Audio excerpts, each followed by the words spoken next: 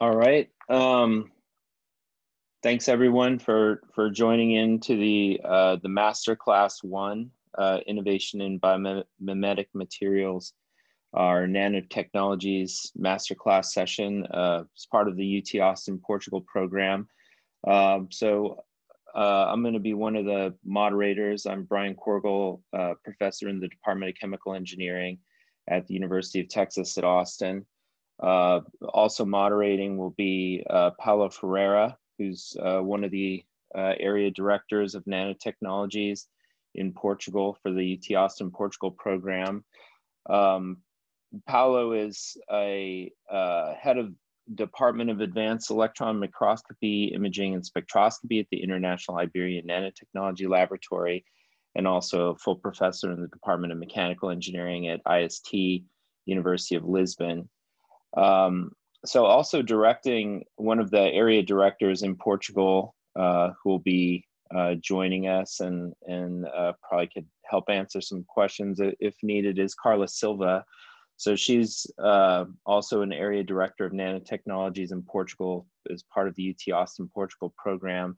She's the director of the Department of Chemistry and Biotechnology at the Technical Center for the Textile and Clothing Industry of Portugal, uh, CITEV. So uh, I'm one of the area directors in nanotechnology as part of the UT Austin Portugal program. Uh, for those of you who, who don't know much about the program, uh, it's a program between UT Austin and Portugal. Um, there, there are a few different program areas, and one is focused on nanotechnologies. So the nanotechnologies program is uh, there to establish new research and innovation agendas involving complex materials, engineering, and science, focused on an integrative approach to nanoscience over diverse uh, applications. So uh, we've got several partner institutions uh, within Portugal, uh, including the International Iberian Nanotechnology Laboratory, INL. Uh, at UT Austin, we have as one of the primary partners the uh, our National Science Foundation funded Materials Research Science and Engineering Center for Dynamics and Control of Materials. So um, our master class is, is going to focus on biomimetic materials this year. So this is a, a really interesting research area related to nanotechnologies. We've got uh, some really great speakers um, today lined up to talk about some of their work from uh, both uh, the United States and in Austin, Texas, and also uh, in Portugal. So um, biomimetic materials are designed to replicate one or more attributes of a material produced by a living organism. And there are numerous examples of functional surfaces, fibrous structures, structural colors, highly catalytic, self-cleaning, self-healing, thermal insulation materials, among other others, which offer important lessons for the materials of the future. So um, this session will focus on some of those materials with the work specifically in uh, the researchers groups that, that um, we've invited to, to give a talk. And um, please feel free to, answer, uh, to ask any questions that you might have. So there's a Q&A um, log in. We'll have 30 minutes for the talks from our speakers and then 10 minutes available for questions and answers. So just as you have a, a question, feel free to enter it into the Q&A box. And then uh, during the Q&A session, we'll go ahead and, and present those to the speakers and they will, they will answer those. So we're really looking forward to the, um, the session this morning. Uh, questions are are certainly welcome. We're looking forward to really interesting session.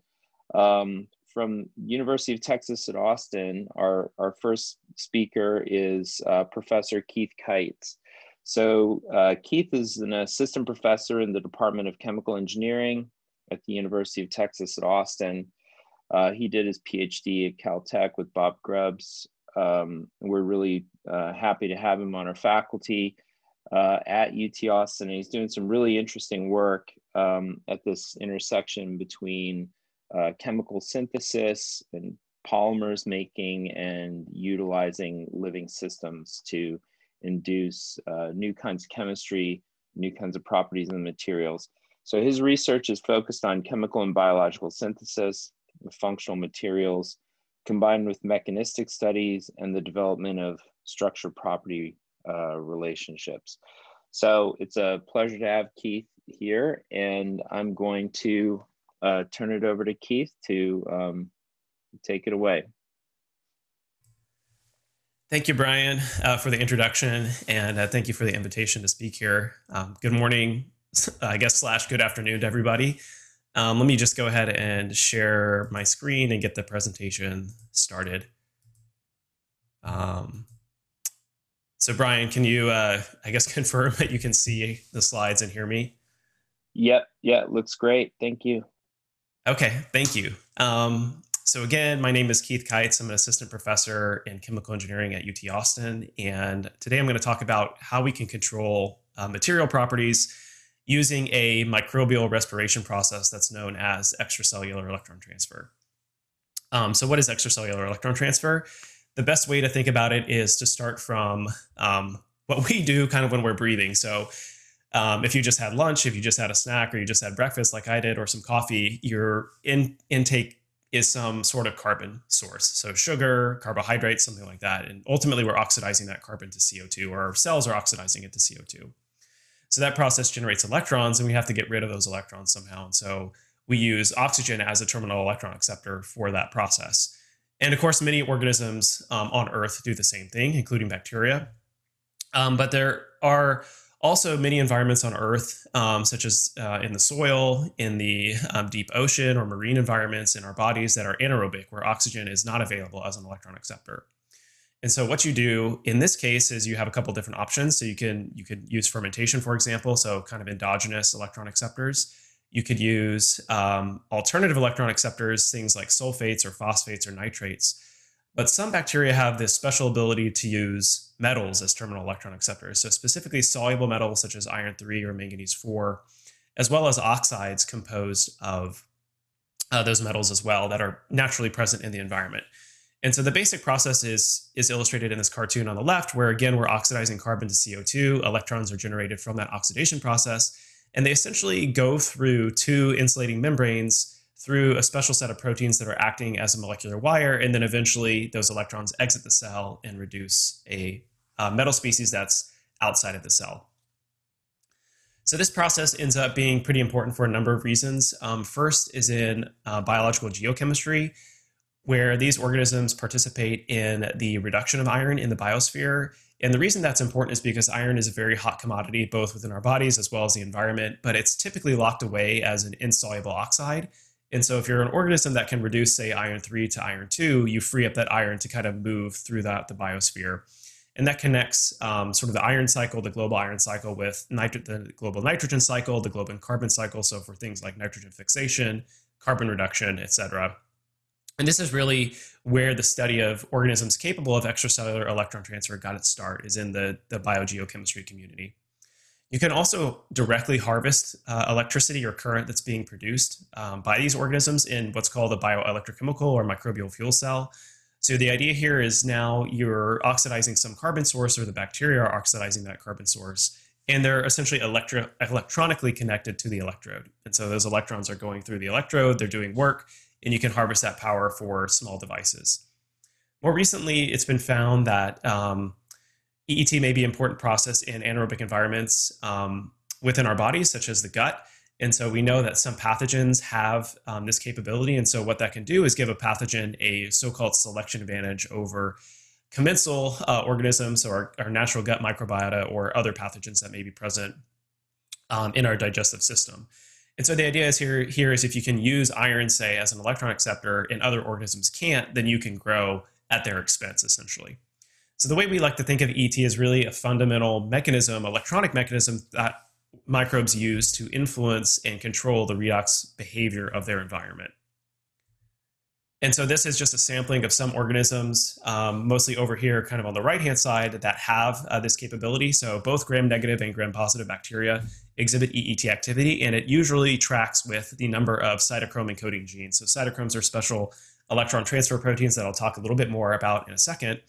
Um, so the two kind of main players as far as sort of poster children for EET-based bacteria are uh, the Geobacter genus, which is shown here. These are obligate anaerobes, so basically they can they can only use, or sorry, they cannot use oxygen as an electron acceptor. Oxygen is actually toxic for them.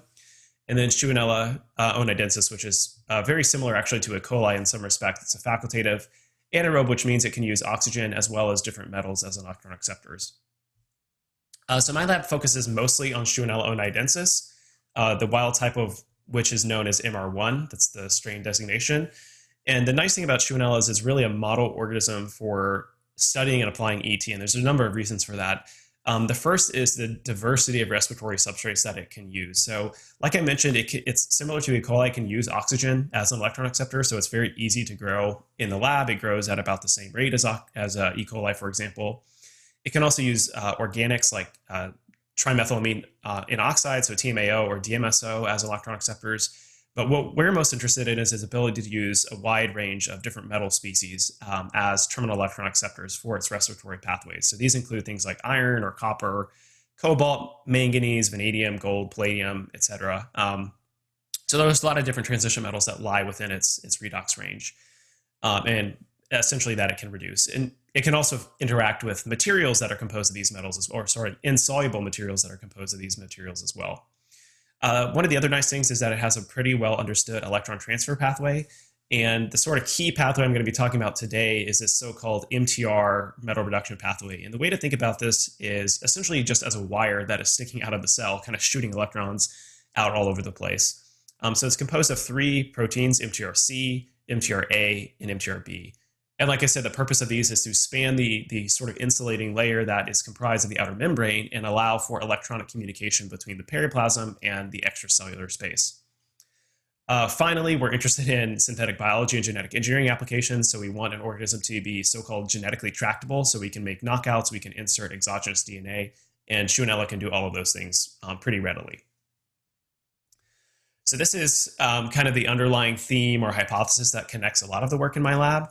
Um, so one of the unique things about electron transfer is if you think about um, the way that your phone or your computer or any sort of modern computing architecture operates, when we talk about moving electrons around, we're not just talking about moving electrons, but we're also talking about transmitting information. And so kind of transitioning that idea to thinking about a living system, we can think about these electron transfer pathways, again, these wires that sort of sit on the outer membrane of the cell, acting almost as a universal serial bus or connector that connects internal computations within the cell. So these could be sort of natural computations. The cell is sensing a new environment, a change in pH, a change in salinity, or a change in temperature. Or they can be programmed things like using CRISPR Cas9 or promoter engineering or different types of RNA circuits. Um, so all of that internal computation is connected to the extracellular space up here through this electron transfer pathway in the middle. And so then you can envision a number of different outputs for the electrons that are coming from these bacteria. So I mentioned power generation as one of those, but there's a lot of different other chemical and physical transformations that can be driven using electrons. So this includes things like material synthesis, such as nanoparticle formation, for example, um, cellular communication. So cells also communicate electronically using these um, electron transfer pathways, uh, sensing, and also catalysis as well. So we really like to think of ET as a universal means of connecting sort of genetic or proteomic or metabolic logic within the cell to control different types of biological and chemical systems that are outside of the cell. And so here are three sort of representative project areas that we have going on in my lab right now. Um, so on the left-hand side, we have a, a, research area that's focused really on synthetic biology and genetic engineering applications of Shewanella onidensis. So really asking can you control, uh, turn on and off electron flux in a programmable manner um, using genetic engineering toolkits. Uh, the next topic that I'm going to focus on today is um, what we're calling microbial redox catalysis. So the analogy here is to electrocatalysis, where you have a potentiostat that's supplying electrons or removing electrons, excuse me, from an electro from a catalyst, and that's turning over some reaction. So the idea is here just replace that electrode with these bacteria, and can you do essentially the same types of catalysis? Uh, and then finally, we also, I'm not going to talk about it today, but we're also interested in biological handles for tuning um, nanoparticle or inorganic material production. So again, tuning the flux of these EET pathways and using that to control nanoparticle deposition, size, morphology, these sorts of things. And so I'm going to focus on this uh, catalysis, and we'll get to the materials here in a second. I know it's supposed to be a materials talk. Uh, and so primarily what I'm going to be talking about today are the synthesis of soft materials um, using this electron transfer interface. So one of the initial reactions that we wanted to focus on was a type of controlled radical polymerization known as atom transfer radical polymerization. So the diagram is a little bit complicated, but the main takeaway here is we start with a reduced metal catalyst that is going to react with a brominated species or brominated initiator, and that generates an active radical, which is then free to add additional monomers to extend our polymer chain. So the key um, sort of innovation for this polymerization is that this uh, uh, equilibrium, this reaction is in equilibrium between the reduced and the oxidized metal species. So it's constantly going back and forth, back and forth, back and forth. And consequently, this radical is constantly being shut off, essentially. So it's entering a dormant versus an active state more or less constantly. The key is that it's most often in a dormant state. And why that's important is because it prevents the radicals from doing unwanted kind of reactions like early termination or recombination, things like this. And so we have a really low active concentration of radicals in solution at any given time. So it was known from the Matuszewski group who really pioneered um, this polymer synthesis methodology, that you could actually control the rate of this polymerization by supplying a um, exogenous redox potential. So if you have an electrode or potentiostat um, kind of in your system, you can bias this equilibrium between the reduced catalyst and the oxidized catalyst one way or the other, and you can therefore control the rate of the polymerization. So the idea, initial idea was, well, can you um, remove the electrode and just ask bacteria to do the same thing? So the chemistry is exactly the same over here on the right. Now we're just taking a carbon source, in this case lactate, feeding it to bacteria. They generate electron flux, and we essentially capture part of that electron flux and use it to power this polymerization. So this was the question we were interested in asking, at least as a proof of principle. And so here's a slide detailing kind of the logistics of how the experiments are actually run. So we first plate the bacteria, nothing unusual there pick colonies, grow them up in an anaerobic culture. So we're just growing them on lactate and fumarate, which acts as a secondary electron acceptor. And then we take an aliquot essentially of that anaerobic culture and add it to a new mixture that contains our monomer, which in this case is a, methac- a pegylated methacrylate. So pretty common water soluble um, monomer that can undergo radical polymerization. We have an initiator, which again is this brominated species. This is where the radical is going to start, uh, be first generated, and then a catalyst, which I'll talk about more in a second. So we put the bacteria in, uh, and then um, and then we'd let it go, and then hopefully form a polymer. So because we're running a synthetic polymerization, we're interested in a couple things here. One is the polymerization rate. So we want it to be first order. Um, so that's a good indication that we have control over the radical polymer, radical population, radical concentration, and solution. We also want molecular weight control so we can predict what the theoretical molecular weight of the polymer is based on our monomer to initiator ratio. And so we want our experimental molecular weight to be as close to that as possible.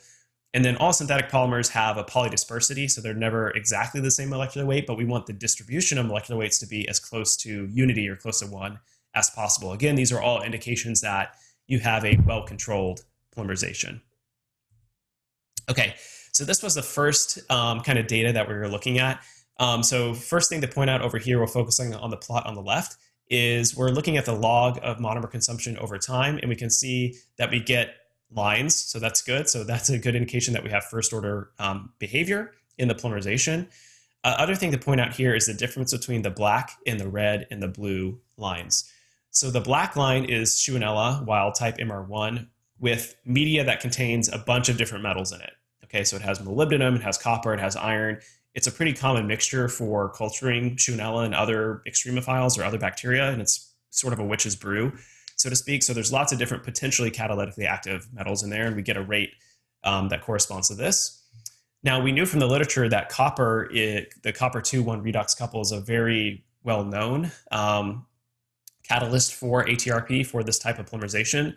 So the question, first question was, if you remove all of the metals from that microbial media except for copper, what happens? And that's this red trace right here. So you can see if you just add copper in back at the same concentration as it was before, in the black case, but no other metals around, you get approximately the same rate. Uh, and then finally, if you do the same reaction, but now you use a non-electroactive organism, so a control essentially, that's E. coli in this case, you see very little activity over time, which is the blue kind of down here. So right away, we know that there's something special about having copper in the system as well as ha having Shewanella oneidensis in the system that gives us good polymerization activity.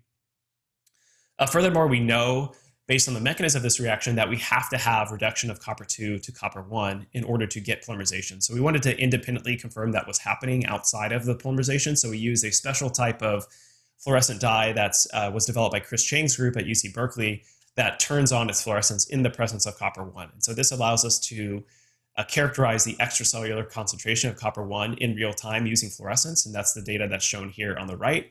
So we're incubating uh, either MR1, Shewanella, or E. coli uh, with copper 2, and then looking for uh, this turn on in fluorescence. And right away with MR1, we get an increase in fluorescence, uh, an increase in copper 1 that um, persists for a number of hours. And then eventually, E. coli is also able to reduce a small amount of copper as well, but significantly different than what Shewanella is able to do. So again, this is mechanistically consistent with our hypothesis that Shewanella is reducing copper 2 to copper 1. That is kickstarting the polymerization, and then we get these controlled first order kinetics. Okay, so let me talk a little bit about the actual properties of the polymers that we form with Shewanella. So the rate of the reaction is actually fairly similar to the rate that you would get um, if you were running the reaction completely synthetically with, uh, with a chemical reductant such as sodium ascorbate. Uh, one of the other properties we're interested in is, like I said, control of molecular weight. And typically with a uh, living polymerization, we want there to be a linear relationship between molecular weight, which is over here on the left, and the conversion of the reaction. So essentially, we should be able to predict what the molecular weight should be based on how much monomer has been converted. And you see that in the black here that we do get that, indeed get that linear relationship.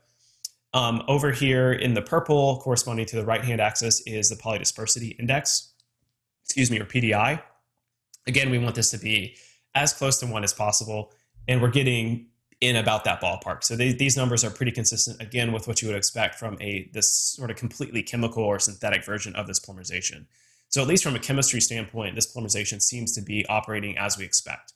Uh, and additionally, they exhibit living characteristics that we associate with ATRP. Again, just to summarize, a linear relationship between molecular weight and conversion and low PDIs. Um, this isn't really, there isn't really anything quantitative to extract from these scanning electron micrograph micrographs, but we can we can physically see what's happening during the polymerization. So this is before the polymerization. You can see bacteria hanging out, just doing their thing on a surface, and then after the bacteria after the polymerization, they're covered in this sort of gunk, um, so to speak. Okay, so that was all fine and good. Um, so we know we can make polymer, we can characterize the polymer. It looks like a living polymerization, but really what we were interested in is how closely is the polymerization tied to the biological, the metabolism, or these electron transfer proteins in the system. So essentially, how much biological control do we have over the polymerization? So the first thing we wanted to look at was the central carbon metabolism of Shewanella. Kind of a simplified cartoon is shown here. The main takeaway here is Shewanella generates different amounts of electron flux depending on what it's eating. So if it has lactate, you can see in this cartoon, basically you get four equivalents of electron, four electron equivalents per, let's say, mole of lactate that the bacteria eat. But if you start with something pyruvate, you start with something like pyruvate, you've sort of shut off this previous pathway. So you only get two electrons. Uh, if you feed acetate, the cells are effectively starving under anaerobic conditions because they can't digest it. And then in addition to carbon source, we also wanted to look at the role of, of like I mentioned, these special electron transfer proteins. And so um, indeed, you when you uh, feed the bacteria different uh, carbon sources, so lactate is in black, pyruvate is in purple, acetate uh, is in red, and starved cells are in gray, you do see significant differences in terms of the rate of polymerization. So this is an early indication that we can control uh, the properties of the polymerization, specifically polymerization rate, just based on what the bacteria are eating. Um, what we were more excited about was the ability to have a genetic or proteomic handle for controlling polymerization. So we wanted to look at what is the role of these specific EET pathways in controlling uh, polymerization rate. So all bacteria change their redox, change their extracellular redox environment, and Shewanella has a number of pretty powerful reducing agents besides the MTR pathway that it can kind of secrete from the cell. So one of those is hydrogen, for example.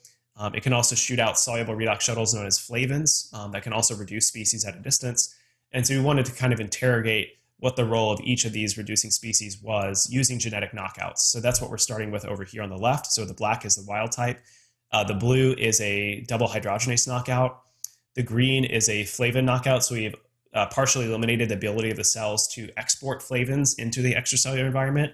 And then finally, the gray is a knockout of this MTRC OMCA pathway. Okay, so essentially you can imagine the gray as if we're snipping an electronic wire that's connecting the cell to the catalyst. So we don't see any difference really between MR1 and the hydrogenase knockouts and BFE. So that's the black, green, and blue curves. But when we knock out this MTRC pathway, we see a significant attenuation in the, in the polymerization rate. And this is consistent with our previous results looking at E. coli, because one of the key differences between Shewanella and E. coli is E. coli does not have a homologous pathway to this one shown right here. Furthermore, we can do what's called a complementation assay, where essentially we take that same knockout and we add in exogenous DNA that encodes the MTRC protein or gene. Uh, and so that's what we're looking at in this experiment over on the right. So the black is, again, our uh, wild type bacteria with an empty vector control. Our gray is the knockout with an empty vector control. And then you can see when we add in MTRC, that gene, we get a partial rescue of polymerization activity. So these are all good indications that the MTR pathway is playing a role in polymerization, and specifically this MTRC seems to be a critical reg regulator of polymerization rate. So I haven't really talked about why this is actually useful. Um, so that's sort of what we wanted to focus on next.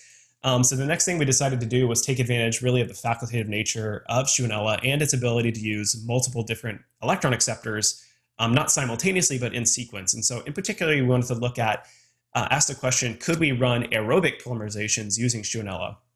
The reason that this is challenging is because all radical reactions uh, can be quenched by oxygen. So typically, if you've run one of these polymerizations um, in your lab, you probably had to do it in a glove box or use Schlenk technique, get rid of the oxygen somehow. And so we wanted to see can Shewanella essentially scrub oxygen from the system, then turn on the polymerization via these EET pathways. Um, and I guess long story short, that works. Um, so you can run these polymerizations just in an open container on the benchtop, just after the, adding the bacteria to the polymerization mixture, and it works pretty well. You can see over here on the left, we have um, controls looking at if you have metal, if you don't have metal, if you have bacteria, if you don't have bacteria, if you have supernatant. And really the only time that you get good activity is when you have all the polymerization components plus uh, MR1 or Shewanella in this case. So this is with catalyst, with monomer, with initiator, and with uh, and you get good activity. Uh, about almost quantitative conversion after a couple hours. Um, one of the other things that's interesting about aerobic polymerizations is they eliminate a lot of the problems that we had uh, for uh, with regard to control experiments. So one of the things we were really concerned about in the beginning under anaerobic conditions is lysed cells. So when a cell blows up, it can essentially release a lot of reductants, uh, different reducing metal ions, glutathione, hydrogen, other powerful reductants into solution. And that can turn on the polymerization as well. So the nice thing about aerobic conditions is that it really eliminates that process because even if the cells are lysing, there's no active mechanism to scrub oxygen from the system. So if you have any adventitious reduction, it's immediately oxidized again by oxygen, oxygen, excuse me. If you have radicals that form, they're immediately quenched uh, by oxygen. Um, so this is just a nice kind of handle for us because it makes the polymerization a little bit more controlled. Uh, we can also look at polymerization rate um, and see that it's a function of the inoculating cell density. So the more cells that we have, the faster the polymerization goes up to a certain point. So again, this is a good indication that we have cellular control over these processes. Um, one of the cool things we can do is run this as if you were running a fermentation. So you can take lyophilized cells or freeze-dried cells and you can just add them to the polymerization mixture. So you don't need to do any microbial culture. You can just add the cells as a powder and then magically you get kind of polymer that forms. And then just like a fermentation, you can collect the spent cells after the polymerization and recycle them, put them in another polymerization mixture and kind of get polymer to come out. And these uh, graphs in the middle and the right are just showing that the polymerization works as you would expect it to using either lyophilized or spent cells. Okay, so the summary from the polymerization part is that we can use EET to power a controlled radical polymerization. Uh, polymerization is tolerant to oxygen exposure. We can also use it with a variety of different metals. And then, of course, the polymers have controlled molecular weight, low polydispersities, and both of these are characteristic of this specific polymerization mechanism. So we don't have a ton of time left, I don't think, uh, but what I want to focus on uh, for the, this uh, sort of a few slides here is a collaboration we actually have with Professor Adrian Rosales, who's the next speaker, focusing on extending this polymerization to hydrogel formation. So the polymerization mechanism exa is exactly the same. We're just using it to cross-link an existing polymer now instead of forming homopolymer. So we chose to look at this methacrylated, uh, uh, methacrylated hyaluronic acid um, derivative, which is a common tissue engineering scaffold And we can see right away just in these pictures that if we have E. coli, we get no gel formation. So you have a meniscus, you have liquid flowing.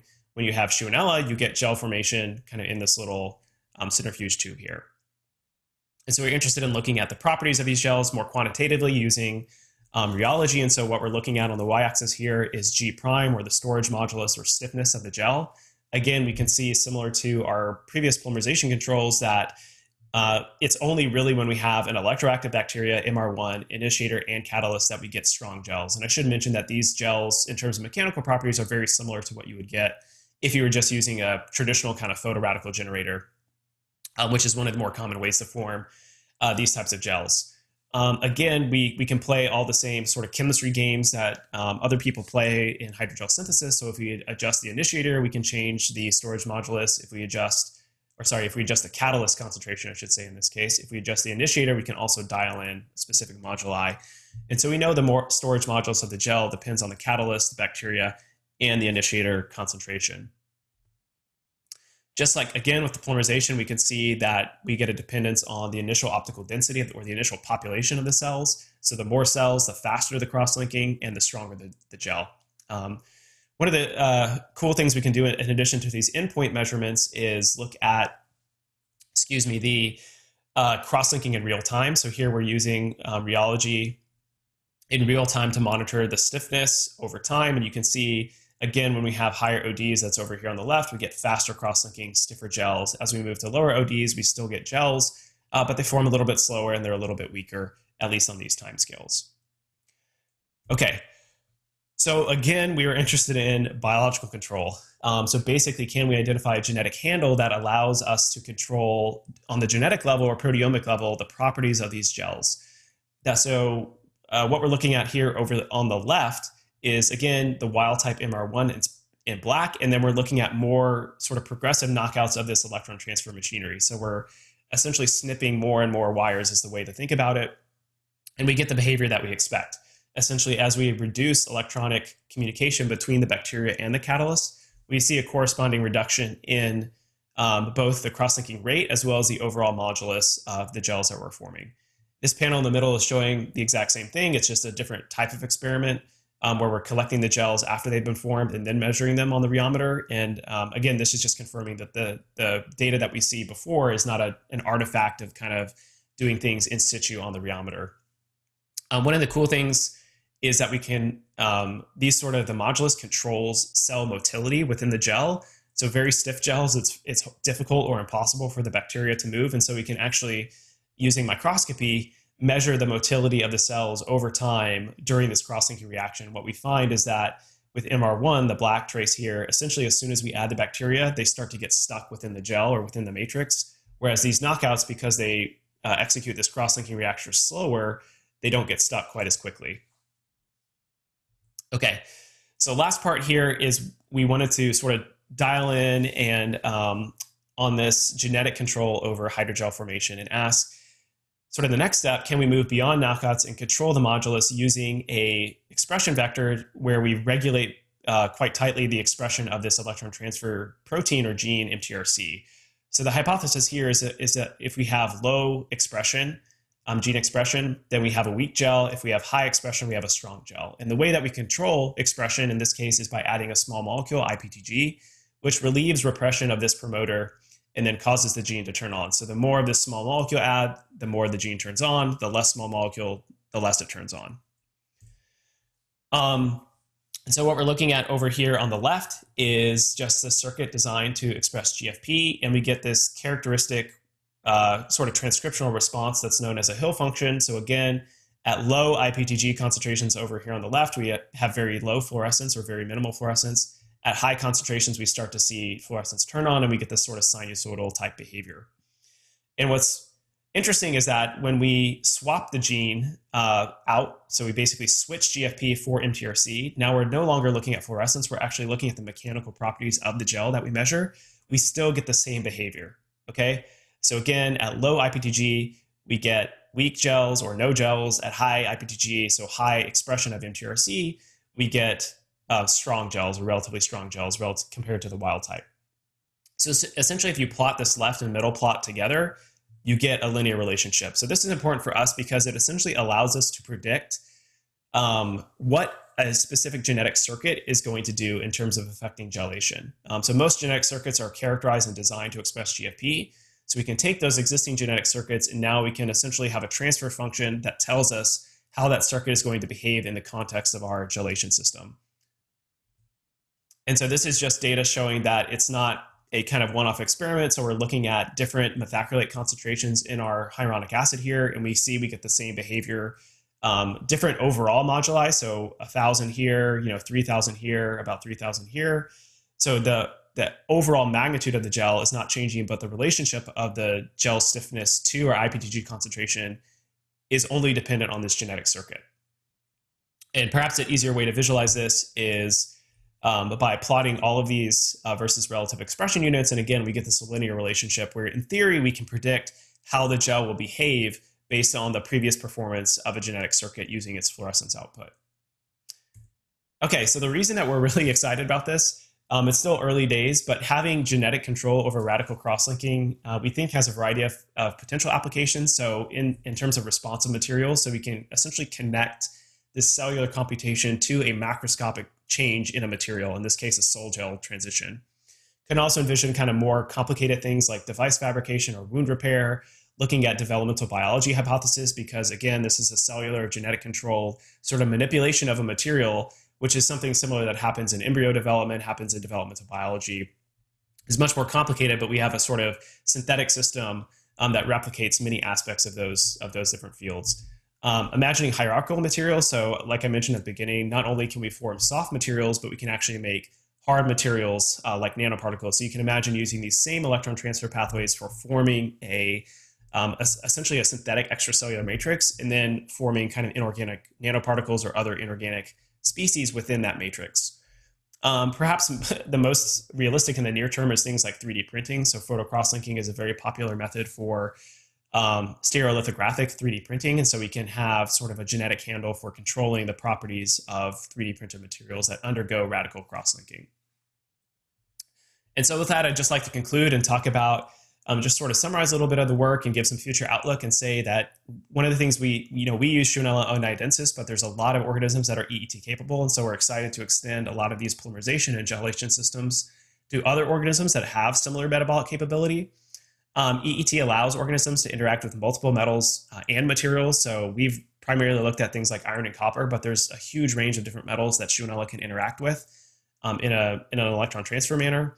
And then finally, EET proteins, so MTRC, MTRA, uh, these proteins that are really important in this electron transfer pathway really facilitate information transfer between biological and abiotic systems. And so, with that, I'd like to thank the graduate students and postdocs, in particular, Dr. Chris Dundas, Dr. Gong Fan, and Austin Graham, who did most of this work, uh, and our funding sources um, NSF, the Air Force Office of Scientific Research, the NIH, and the Welch Foundation. And finally, I'd like to thank you again, um, Brian and the UT Austin Portugal program for the invitation and everybody for their attention. And I'd be happy to answer any questions. Thank you. Great, thanks, Keith. That that was great. Um, so we we've already got uh, one question in the in the Q and A. So uh, from Carlos Silva. So, in your opinion, can EET slash MR1 approach be used to produce polymers with industrial application like food, plastic, or textile industries? Uh, let me see if I have a. Sorry, my uh, presentation I think is frozen somehow. Um, just give me one second here. Or my whole computer is frozen. I can't click on anything, but I can still talk apparently. So I'm not sure what exactly is going on.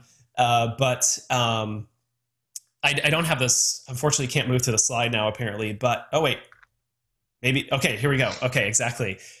Uh, so so it's a great question. Um, so we've primarily been looking at these water soluble monomers so far, just as a proof of principle. But we did dip our toe into looking at you know more industrial relevant polymers like polystyrene, PMMA, um, polynipam, et cetera. And we can get those to work to a certain extent. We haven't optimized them. Um, one of the big challenges, at least with more industrial polymers like uh, polymethyl methacrylate, polystyrene, et cetera, is that they are, are not water soluble.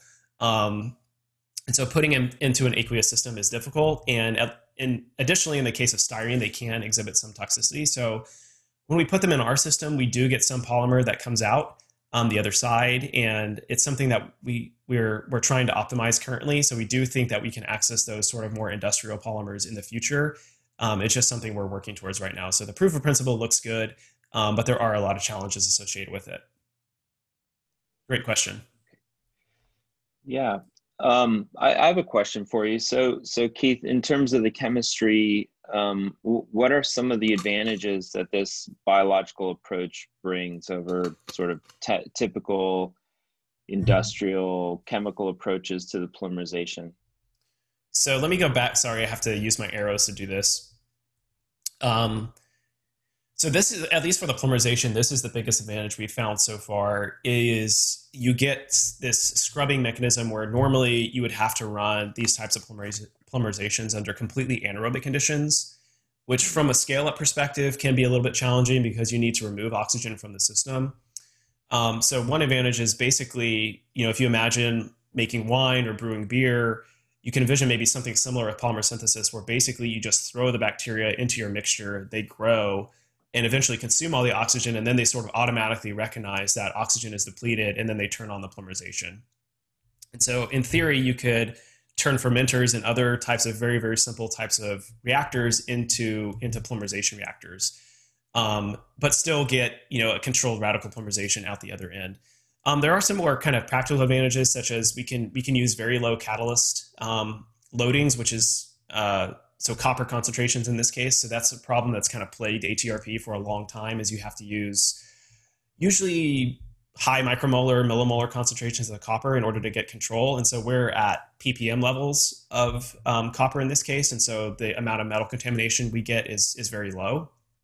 Um, and, and sort of beyond that, we get polymerization rates that are competitive with, you know, sort of the best synthetic systems that are out there right now. So we think that there's still a lot of work to go um, we don't completely understand all the mechanics of how the polymerization is op- is is operating, but we think those are the, the primary advantages relative to more traditional uh, polymer synthesis methodologies.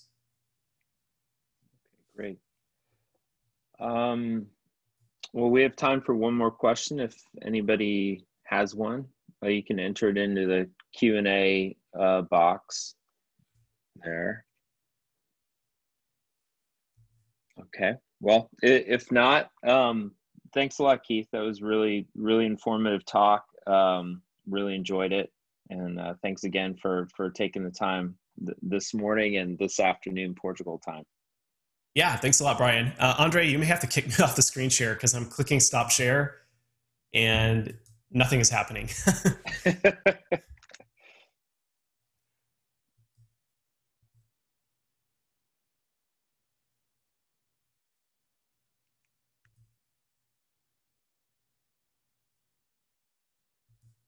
Sorry, can you also see me? Um, I still see your screen. Um, okay. I'm gonna. I think Andre could hear you. Um, okay, hold on. Okay. Okay, there we go. Got it. All right. Cool. Okay. So, um, excellent. So our our next talk is coming uh, again from from UT Austin. So. Um, from uh, Adrienne Rosales. So she's going to talk about engineering functional hydrogels from biomimetic polymers. So Adrienne is a, an assistant professor in the Department of Chemical Engineering at the University of Texas at Austin. And her research group, the Rosales Research Group, studies and develops dynamic polymer systems to engineer complex biological microenvironments. So uh, we're looking forward to the talk from from Adrienne. And uh, same thing as you have questions, feel free to enter them in the Q and A box, and then uh, Adrienne will answer them at, at the end. And um, we're looking forward to your talk. Thanks, Adrian. Hi, yes, thanks so much. Um, could one of the hosts please turn on my video? It says that I'm not able to do it because the host has stopped it.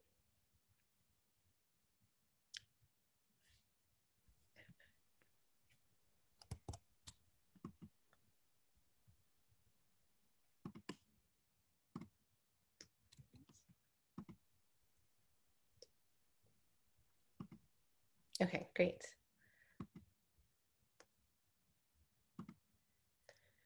All right, well, thank you very much for the introduction, Brian, and um, thank you to all of the hosts for the invitation to be here. I'm really excited to share some of my group's work on engineering functional hydrogels from biomimetic polymers. And I think Keith gave a great introduction to a little bit of, um, of hydrogels. And so I hope to expand on that specifically uh, with an eye towards what my group is interested in. So let me all right, so we're broadly interested in hydrogels as engineered extracellular matrices. Uh, my group is really interested in the interplay between mammalian cells and their surrounding natural material niche.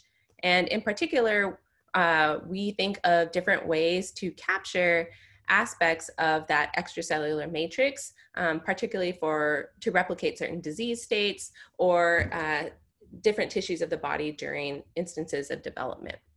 And a few applications where that is um, particularly relevant include tissue engineering scaffolds. So it's widely known that hydrogels have mechanical properties and some uh, sometimes chemical properties as well that mimic those of soft tissues in the body. And so they're a really great platform for culturing cells in vitro as well as introducing specific cues to direct cell differentiation uh, on the bench. In addition, these are great platforms for replicating disease environments in vitro as well. And so we can add in different cues um, as well as different architectures to mimic disease states outside of the body. And that's helpful um, as drug screening platforms in addition to potentially avoiding the need for uh, numerous animal studies. So the more complex that we can make our in vitro disease models, uh, hopefully the better accuracy we can predict cell behavior with. Uh, recently, hydrogels have emerged as interesting platforms for cell delivery vehicles. So because um, of different types of chemistries that we can incorporate into the hydrogel cross-linking, uh, sometimes they can be extruded through a syringe and needle, uh, allowing for uh, a vehicle that can essentially protect cells from the mechanical forces of shear during injection and thereby increasing post-injection cell viability. Uh, and to put this in a little bit of context, uh, some stem cell therapies only get you know, anywhere between one and maybe 30% uh, live cells post-injection. So that necessitates the need for a lot of um, therapeutic cells to achieve a desired function. Um, and really bringing down the cost of those therapies would be enhanced by increasing post injection viability as well as increasing local retention of those cells. And hydrogels are one promising way to do that. And then finally, uh, because hydrogels can be extruded, they can also sometimes be extruded through things like liquid handling platforms, allowing uh, for the creation of these high throughput screening platforms, for example, in a 96 well plate, and again, enabling rapid identification and investigation of cell behavior in a multitude of conditions. So um, we, we think this could be very exciting for screening pharmaceutics in a more biologically relevant environment. So for all of these reasons, um, hydrogels are, are very attractive as a platform in many applications in biotechnology and bioengineering. And uh, in particular, there are a few key features that I'd like to highlight in biological extracellular matrices that we're hoping to capture with synthetic matrices. So here I'm just showing a schematic of um, a biological ECM. We know that these are heterogeneous uh, types of materials, so they're typically formed uh, from fibrillar proteins such as your collagens, your elastins, your laminins, and the composition of that ECM or extracellular matrix is largely tissue dependent. So it can change depending on what tissue of the body you're interested in. These uh, natural ECMs are also largely self-assembled, uh, depending once again on the tissue, they have different architectures. And most importantly, they're bioactive and they're dynamic. So I mentioned that there's this dynamic interplay and exchange of information between the resident cells and their surrounding material. Um, so the material can signal to the cells through mechanical forces or through biochemical cues and alter cell behavior. And in turn, the cells can exert forces on their surrounding material environment and remodel and reconfigure it to achieve a specific function. So th this is always happening um, just during normal homeostasis, but it, it also happens um, during instances of disease. And uh, in the biomaterials field, there are a number of approaches to harnessing the power of this um, biological ECM to study cell behavior. So many people work um, with decellularized natural matrices as well as biologically sourced uh, polymers. And those have, have been uh, instrumental in understanding cell matrix interactions, but they do have some limitations. So deriving these from biology can lead to a lot of batch to batch variability. There can be issues with reproducibility and um, depending on your end use application, sometimes there may be issues with immunogenicity or toxicity um, as well. So for those reasons, synthetic platforms are also quite interesting. Um, specifically, they are chemically defined. We can add in um, diverse bioorthogonal chemistries to achieve something um, that nature doesn't necessarily have a, a readily available handle for. Um, but of course, with synthetic platforms, we have to be creative when we think about ways to introduce in bioactivity or dynamic properties. So they're typically bioinert and, and they don't change um, unless you put in a mechanism to do that. And so my group is really focused on recapitulating this dynamic complexity of native ECM using synthetic materials. And we're doing that in a few different ways. And so um, to replicate some of the sequence specific behavior in natural extracellular matrices, we're using uh, these sequence defined biomimetic molecules called peptoids, which I'll talk a lot more about today. And uh, namely, um, we know that monomer sequence is widely important to a lot of material properties, and so I'll speak about uh, a, a, few in particular. My group is also interested in capturing the dynamic aspects of the native extracellular matrix, and one way we do that is by incorporating dynamic cross-linking chemistries um, that are holding the individual chains in the polymer network together, allowing for um, cell remodeling, cell reconfiguration, we also explore a variety of stimuli to change uh, bulk properties of the hydrogel, so on a more global scale, um, using things like light to um, alter mechanical properties or biochemical signaling factors. And we're also developing different quantitative analysis methods to examine cell behavior on our design platforms. So today I'm going to focus on some of our work in incorporating these sequence specific molecules uh, into our synthetic hydrogel platforms. And we know that monomer sequence is vastly important to control of, um, of a protein-based material. So it's important in both matrix mechanics and degradation of the formed bulk material.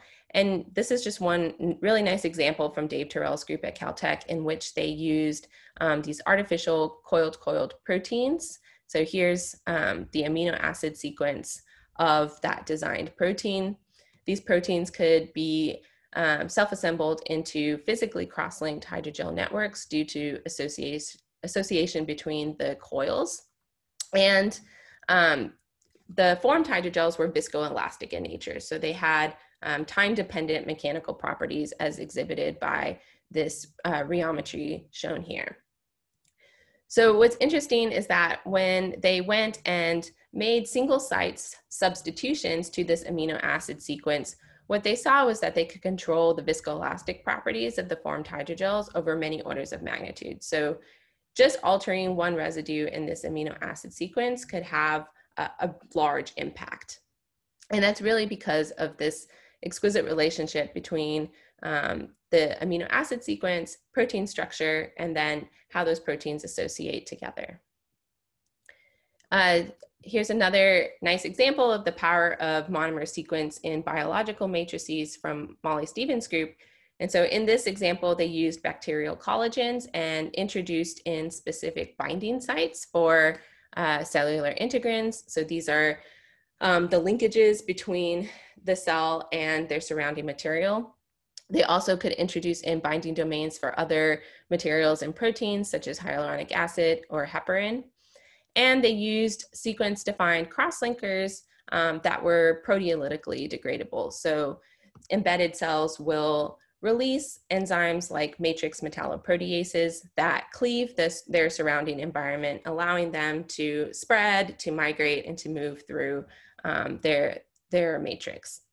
And the rate at which they do that is largely dependent on um, the susceptibility of the material for those enzymes. So they could tune that using monomer sequence. So um, there are a lot of reasons why then we would want to control the uh, material properties using something like monomer sequence, but this has traditionally been pretty difficult using synthetic polymers. And uh, there are a lot of great ways to control monomer sequence using synthetic polymerization methods. I think all of these have various ways to control um, the sequence of a synthetic polymer, but they still are not quite at the level of what biology can do. And so biology will build the polypeptides and the ribosome, you know, step by step, adding each amino acid uh, one at a time. And sometimes we can harness biological machinery to control uh, sequence in a synthetic way using genetic engineering techniques or perhaps by incorporating in amino acids that have non-natural side chains so we can do um, orthogonal chemistry with them later. But um, if you want to use backbones that aren't necessarily uh, the same as the polypeptide, you're a little bit more limited um, in using biological machinery. So my group is definitely interested in controlling uh, monomer sequence in, in polymers, but we're also really interested in uh, understanding the impact of monomer sequence on polymer properties and on hydrogel properties. And so uh, for that reason, we chose to investigate a non-natural biomimetic polymer that can be made using just traditional solid phase chemistry. Um, that gives us the advantage of building our, um, our polymers step by step, uh, one monomer unit at a time, such that we get a highly monodispersed batch of chains that all have the same sequence and the same length. Um, but there's a little bit of a trade-off. So the, the solid phase chemistry um, we can't achieve high molecular weights with that, and the batch sizes tend to be small compared to some more traditional polymerization methods. But for um, a first investigation into how we could use sequence to control hydrogel properties, we thought this was really well suited for designing sequence-specific crosslinkers. And the uh, biomimetic polymer that we have chosen to investigate are polypeptoids or N-substituted glycines. And so the generic structure for those molecules is shown up here at the top. And you can see that they have the same chemical groups as peptides. Um, they have a polyamide backbone, but uh, the side chains are arranged in a different way. And so um, polypeptoids are N substituted, meaning that the side chain is coming off this backbone nitrogen instead of the alpha carbon as they do in peptides. And because of that, there's no backbone hydrogen bonding in these molecules. It changes their chirality as well. Um, also because of that, they're synthesized in a slightly different way. And so I mentioned we could use solid phase chemistry. And in particular, um, my group is using this submonomer method to build our peptoid molecules. And what that means is that each peptoid residue is built in two steps. The first step is the same for every residue. It involves a coupling agent like bromoacetic acid. Um, and then the second step is where we build in our side chain functionality using commercially available primary amines. And there are dozens, if not hundreds, of, of primary amines available. And so the chemical diversity that we have access to is really quite large. Um, we can put in side chains that mimic those of the amino acids, or we can put in side chains that are completely different um, from what the amino acid alphabet has. So these two steps are iterated um, over and over until we get a, um, a peptoid chain of defined sequence and length. And it may come as no surprise, given their structural similarity to peptides, that peptoids have been investigated for a variety of biomaterial applications in the past. And I should mention that they're also amenable to sort of traditional ring opening polymerization methods as well. So here are just two examples um, with higher molecular weight peptoids that aren't sequence defined, uh, showing that they've been explored as micelles for drug delivery as well as um, anti-fouling coatings. But their sequence specificity uh, given through solid phase methods really enables interaction with biological molecules. So um, here's an example using sequence defined peptoids in which uh, the specificity enabled their application as a biomarker uh, for disease. And those solid phase methods can be combined with those of peptides to build hybrid molecules um, and as exhibited in this example where they explored a sequence as a cancer therapeutic. So to begin to understand how we could harness the power of sequence to control synthetic material properties, we just first set out to make a simple uh, demonstration, um, taking a lot of inspiration from that protein hierarchical structure in which sequence controls structure and then structure um, gives rise to specific properties.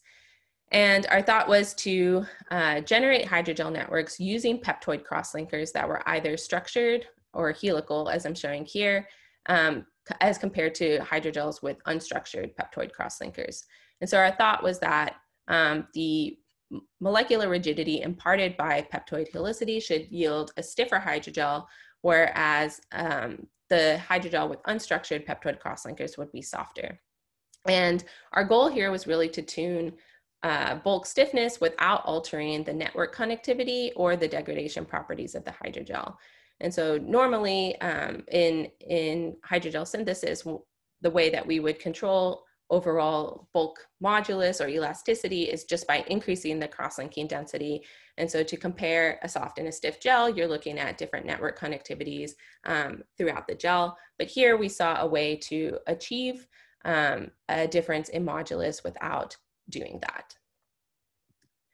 And to build our peptoid helices, um, we took, we followed design rules that have been previously published in the literature. So it's known that if you incorporate these bulky chiral aromatic side chains into the peptoid chain, you can sterically twist these peptoids into um, a loose helix. And in particular, using um, hexameric or trimeric repeat motifs is really important due to the structure of the helix. Um, it allows a lot of those aromatics to stack along one face and stabilize the helix. We performed small angle neutron scattering studies to look at um, the impact of our helical sequence on chain rigidity. And so um, what this experiment enabled us to do was to um, fit a semi-flexible chain model to the scattering profiles from these peptoid helices in solution and back out this persistence length, which you can think of as um, basically the distance over which the molecule behaves like a rigid rod. So for our non-helical or unstructured peptoid linkages, um, we saw that for a variety of chain lengths, the persistence length was slightly less than a nanometer, whereas for the helical peptoid molecules, um, we saw a dependence on chain length. And in particular, at shorter chain lengths, there was a greater difference in um, that persistence length between the helical and the non-helical peptoids. So if you look here at around 24 monomers, we were seeing persistence lengths on, in the range of about three, three and a half nanometers, um, which was quite a, a, marked difference from the non-helical uh, chains. So for that reason, we, we focused on building crosslinkers that were approximately 20 monomers long or less. And to, um, to design these crosslinkers, we, again, as I mentioned, use those bulky chiral aromatic residues um, as indicated here. We also incorporated uh, chiral carboxylic acids to confer water solubility since we wanted everything to be um, workable in, in, just normal buffer. And we incorporated two thiol handles for cross-linking into a, a polymeric network. Our unstructured or non-helical peptoid uh, crosslinkers looked largely the same. Um, they had the same repeat motif, except the only difference was that we used a racemic mixture of that aromatic residue instead of one enantiomer. So using a racemic mixture allowed us to break up that helicity. Uh, and so just a little bit about our um, cross-linking chemistry. Uh, we are incorporating these into polyethylene glycol or PEG networks. Um, so these are multi-arm macromers that um, we can functionalize with something like a norbornene group at the end. And this thiolene click chemistry proceeds um, in, in, high yield and, and, quite readily upon irradiation with a photoinitiator um, like the small molecule LAP and long wave UV light. So, so this chemistry is, is well established and has been used in a variety of hydrogel systems um, and gives us a, a path to um, ideal step growth networks. Uh, with the peptoids, um, it, it, works quite nicely. So um, I mentioned many of the, many others have used this chemistry, uh, such as for cross-linkers like peptides, and so we were pleased to see that the peptoids gave us no trouble. And so here's just a quick validation that um, incorporation into these gels proceeded as expected, all using this um, helical peptoid crosslinker that was 14 monomers in length. You can see that as we just increase the amount of PEG uh, and put in an equivalent amount of the peptoid crosslinker, we see a corresponding increase in our storage modulus, um, so this is one of the traditional ways to control hydrogel elasticity. And we get our highest uh, storage modulus uh, when we use a stoichiometric um, equivalent amount of the peptoid crosslinker. So adding less should decrease the observed uh, hydrogel stiffness that we see, and adding too much crosslinker should also decrease the observed uh, storage modulus because a lot of these crosslinkers will just add um, on one chain end instead of uh, two chain ends, uh, thereby rendering them elastically ineffective. So we were pleased to see that our, our system was working nicely. Uh, so now as we started to vary the length of that peptoid helix, uh, we saw something more interesting. And here I'm showing data for hydrogels cross-linked with peptoids that are 8, 14, or 20 residues long. And each of these are helical. And you can see that um, as we increase the length of the helix, the storage modulus or bulk stiffness of our hydrogel increased as well in quite a linear fashion. And so normally um, your rubber elasticity theory will predict that the as the molecular weight between crosslinks in your hydrogel platform increases, your storage modulus should correspondingly decrease um, because you're, you're creating much longer distance between um, th- those joints in the network. But here we see the opposite. Uh, and really that speaks to being able to control the structure of our crosslinkers. And so if you recall, um, in our scattering data, we saw that there was quite a big difference uh, between um, the persistence length of the molecules at these short chain lengths. So, so right in here.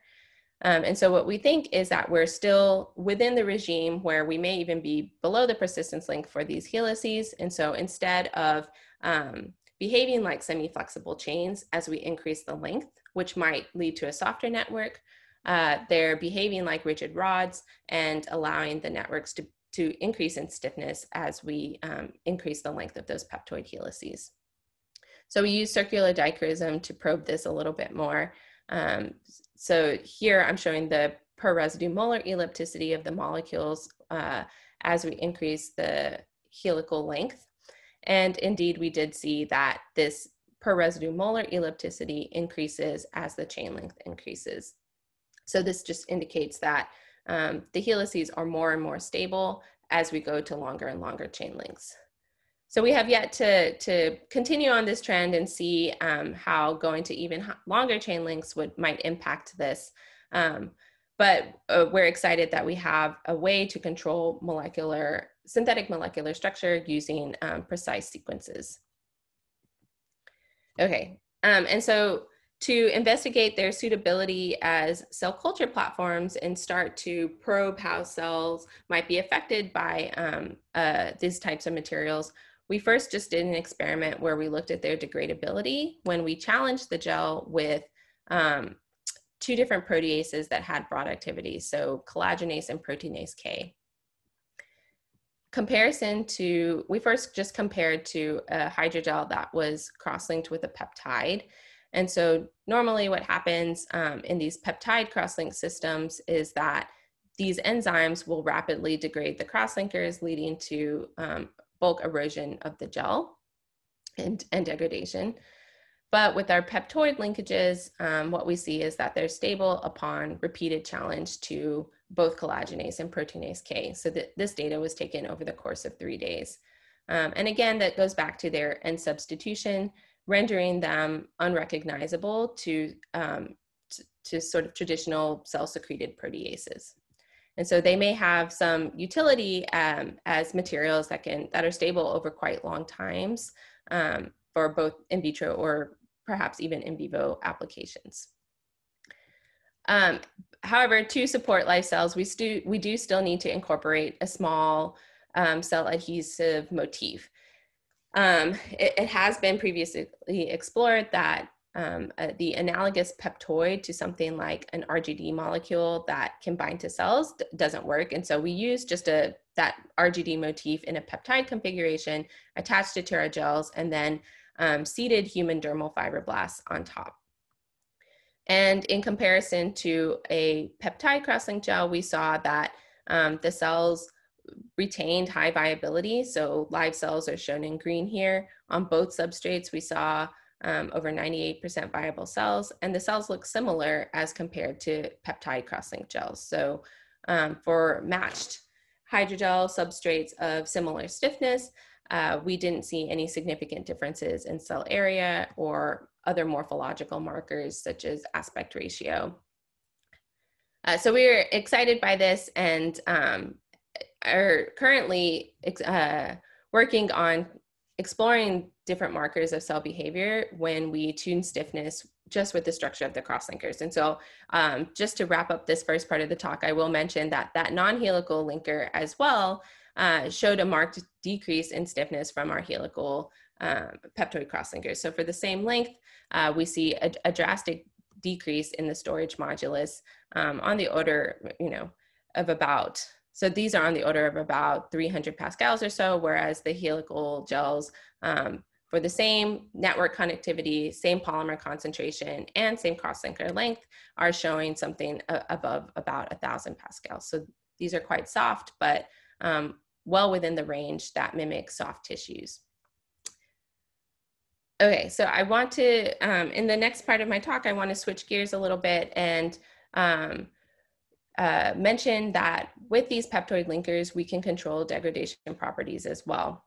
And so I just showed you some data indicating that you know th these aren't degraded by normal cell secreted proteases, um, but oftentimes in different tissue engineering scaffolds, you do want something that is degradable by the cells. And this is to allow cellular migration, allow cellular spreading, particularly in 3D encapsulations. And so having something like a peptoid that doesn't degrade is, is not very functional for your platform, um, depending on the application. And so here's just a schematic uh, showing how others have achieved these properties using proteolytically degradable peptides. So here's a, a cell embedded in a hydrogel matrix.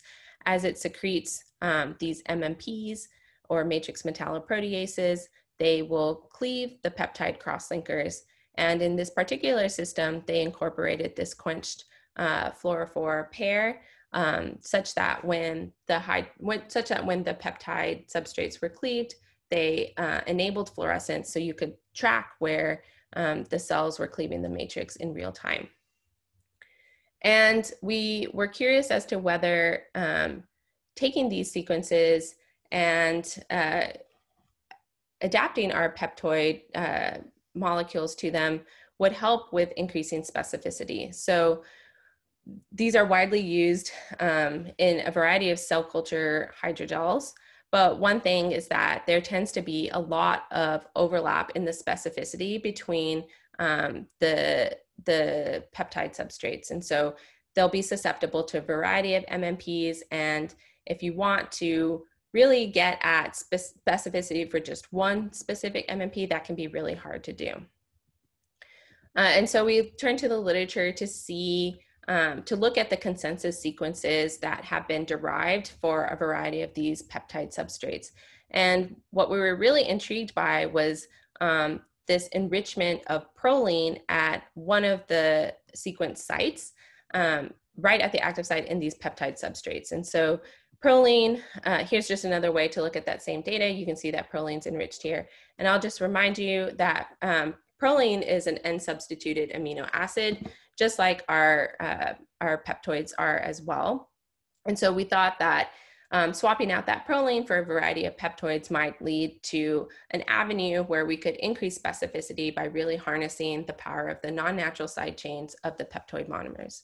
And so this data here is shown for a variety of collagenases, um, so MMP1, 8, 13, for example, um, and uh, collagen uh, is one of the most abundant extracellular matrix proteins. And so um, we decided to start with this consensus sequence and then swap out specific residues for our peptoids.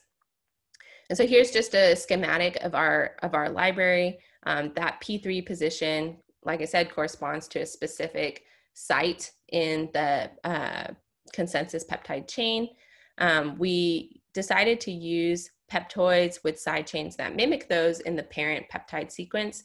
And we did this for each site uh, along the chain. So um, each of the specific peptide peptoid hybrids are listed out here. We also synthesized um, the parent peptide sequence as a control, as well as a sequence that was 100% peptoid, um, also as a control. And we attach that quenched uh, fluorophore pair onto the ends of our molecules such that when they um, hopefully were cleaved by uh, proteolytic enzymes, um, the, one of the fluorophores would be liberated, allowing us to track both cleavage and the kinetics of that in real time. And so this we use this as a platform to analyze rate and specificity to, to different collagenolytic MMPs.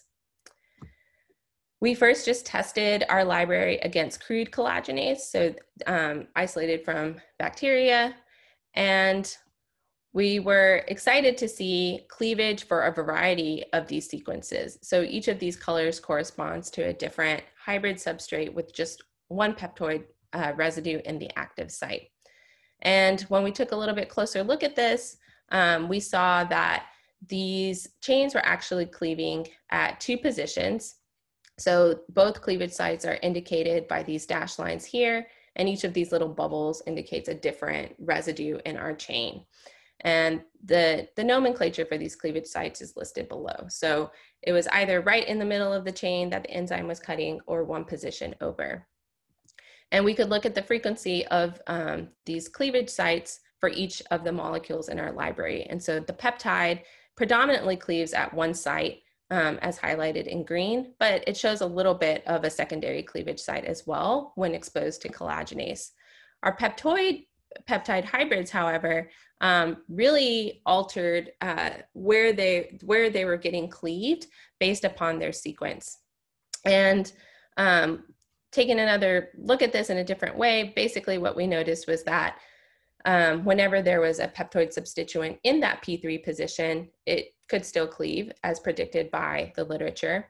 But there were several other sites where peptoid substituents were tolerated as well. So for example, um, the P1, which is right at that, that cleavage site, uh, P2 and P3.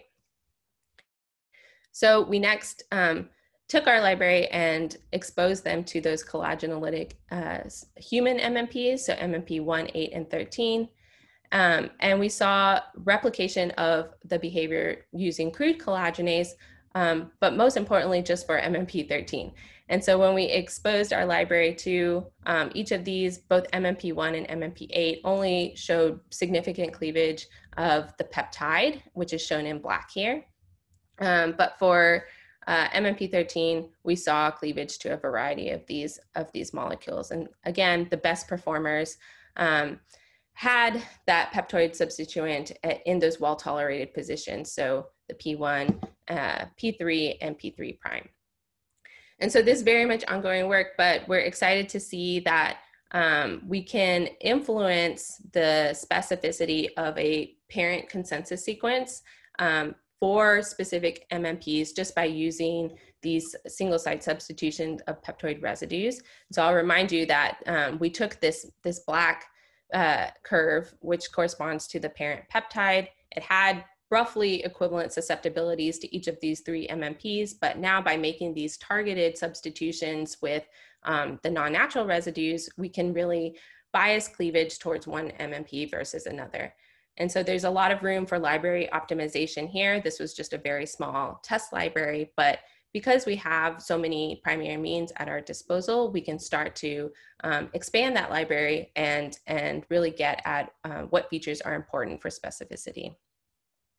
And so to wrap up, I'll just say, um, hopefully I've shown you that we can utilize the structure of these synthetic molecules to control hydrogel mechanics.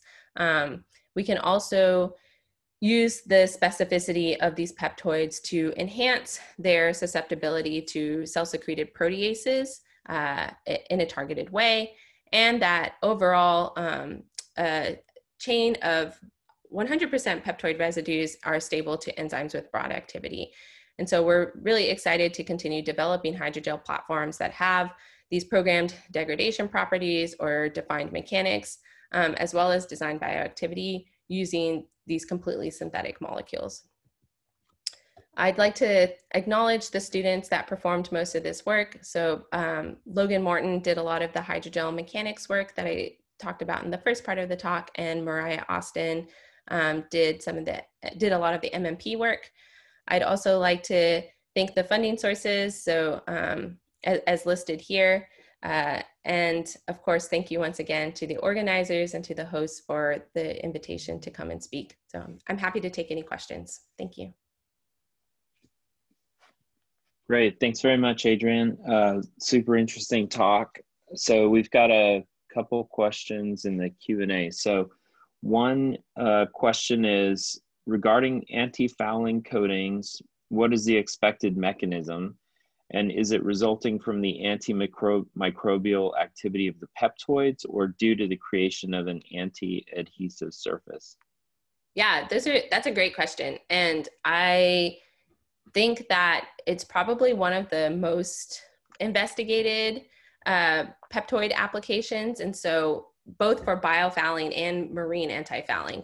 Um, and there have been a lot of different mechanisms explored. Um, you can make peptoids that mimic the hydrophilic properties of PEG, where maybe you're getting like a, a water layer on the film. You can make zwitterionic peptoids where charge is important, um, hydrophobic molecules as well. So I think there is not one general consensus on how anti-fouling in peptoids works. Um, the antimicrobial mechanism that you mentioned has also been uh, nicely explored, and there are a variety of uh, charged and helical peptoids that have been explored as antimicrobials. And so there, um, there's some really nice structure property relationships in the literature exhibiting how um, the helicity as well as cationic charge can penetrate different uh, cell membranes. Um, but for, for anti-fouling coatings, I'm not sure that those have necessarily been combined. Okay, great. Uh, so another question, kind of a maybe a follow-up question. So um, have you tested the antimicrobial activity and possible bacterial resistance of developed peptoids? We have not. Um, we have just tested their cytotoxicity to mammalian cells, but as I mentioned, there's there's been a lot of work on peptoids as antimicrobials. So it ends up being largely sequence dependent, um, just like it would be for a peptide. So there are cytotoxic or antimicrobial peptoid sequences, and there are ones that are very friendly to cells as well. Um, really depending on what you're putting into those side chains and how that affects the resulting structure of the molecule. Okay, great. Um, we have time for another question if anybody has one. Okay, well, um, if not, I'd like to thank Adrianne again for the, for the talk and taking the time uh, this morning and afternoon in Portugal. I really, really enjoyed it. Thank, thanks a lot, Adrianne. Yeah, thanks again. Okay, great. So uh, we are now going to take a break. So until uh, 3.30 p.m. in Portugal and 9.30 Austin. And so uh, that should give you all a little bit of a chance to, stretch your legs, that sort of thing. And then uh, when we come back, um, okay, so we're coming back at 3:45 Portugal time, 9:45 Austin time, and when we come back, Paulo Ferreira will uh, take over as as moderating the the uh, second half of the session. All right, so um, we'll we'll see you soon in about 15 minutes or so. All right.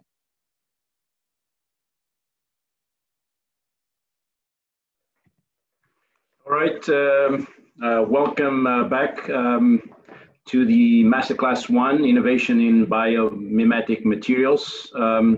So my name is uh, Paulo Ferreira, I will be the moderator for this uh, session.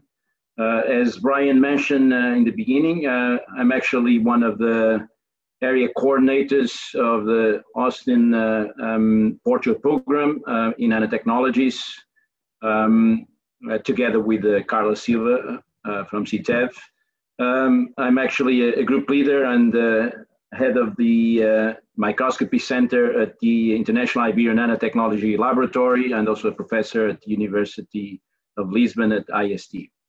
So um, without further ado, uh, let me uh, um, uh, start. We will have as kind of the first speaker, um, uh, is going to be uh, uh, Martin Lopez Garcia. he's a group leader in the natural and artificial photonic, photonic structures and devices laboratory in the nanophotonics department at the International Iberian Nanotechnology Laboratory. Uh, currently, uh, Martin uh, investigates light manipulation at micro and nano scale in natural systems, as well as integrated devices using state-of-the-art fabrication and characterization technologies. So we'll have a 30 minute presentation by Martin and then followed by Q&A uh, uh, session.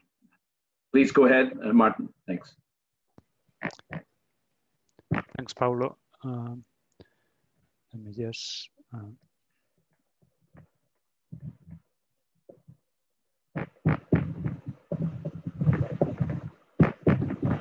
I'm sharing the, uh -huh. Uh, so um, I hope, uh, can you actually see properly my screen or? Yes, it's fine, thanks. Okay.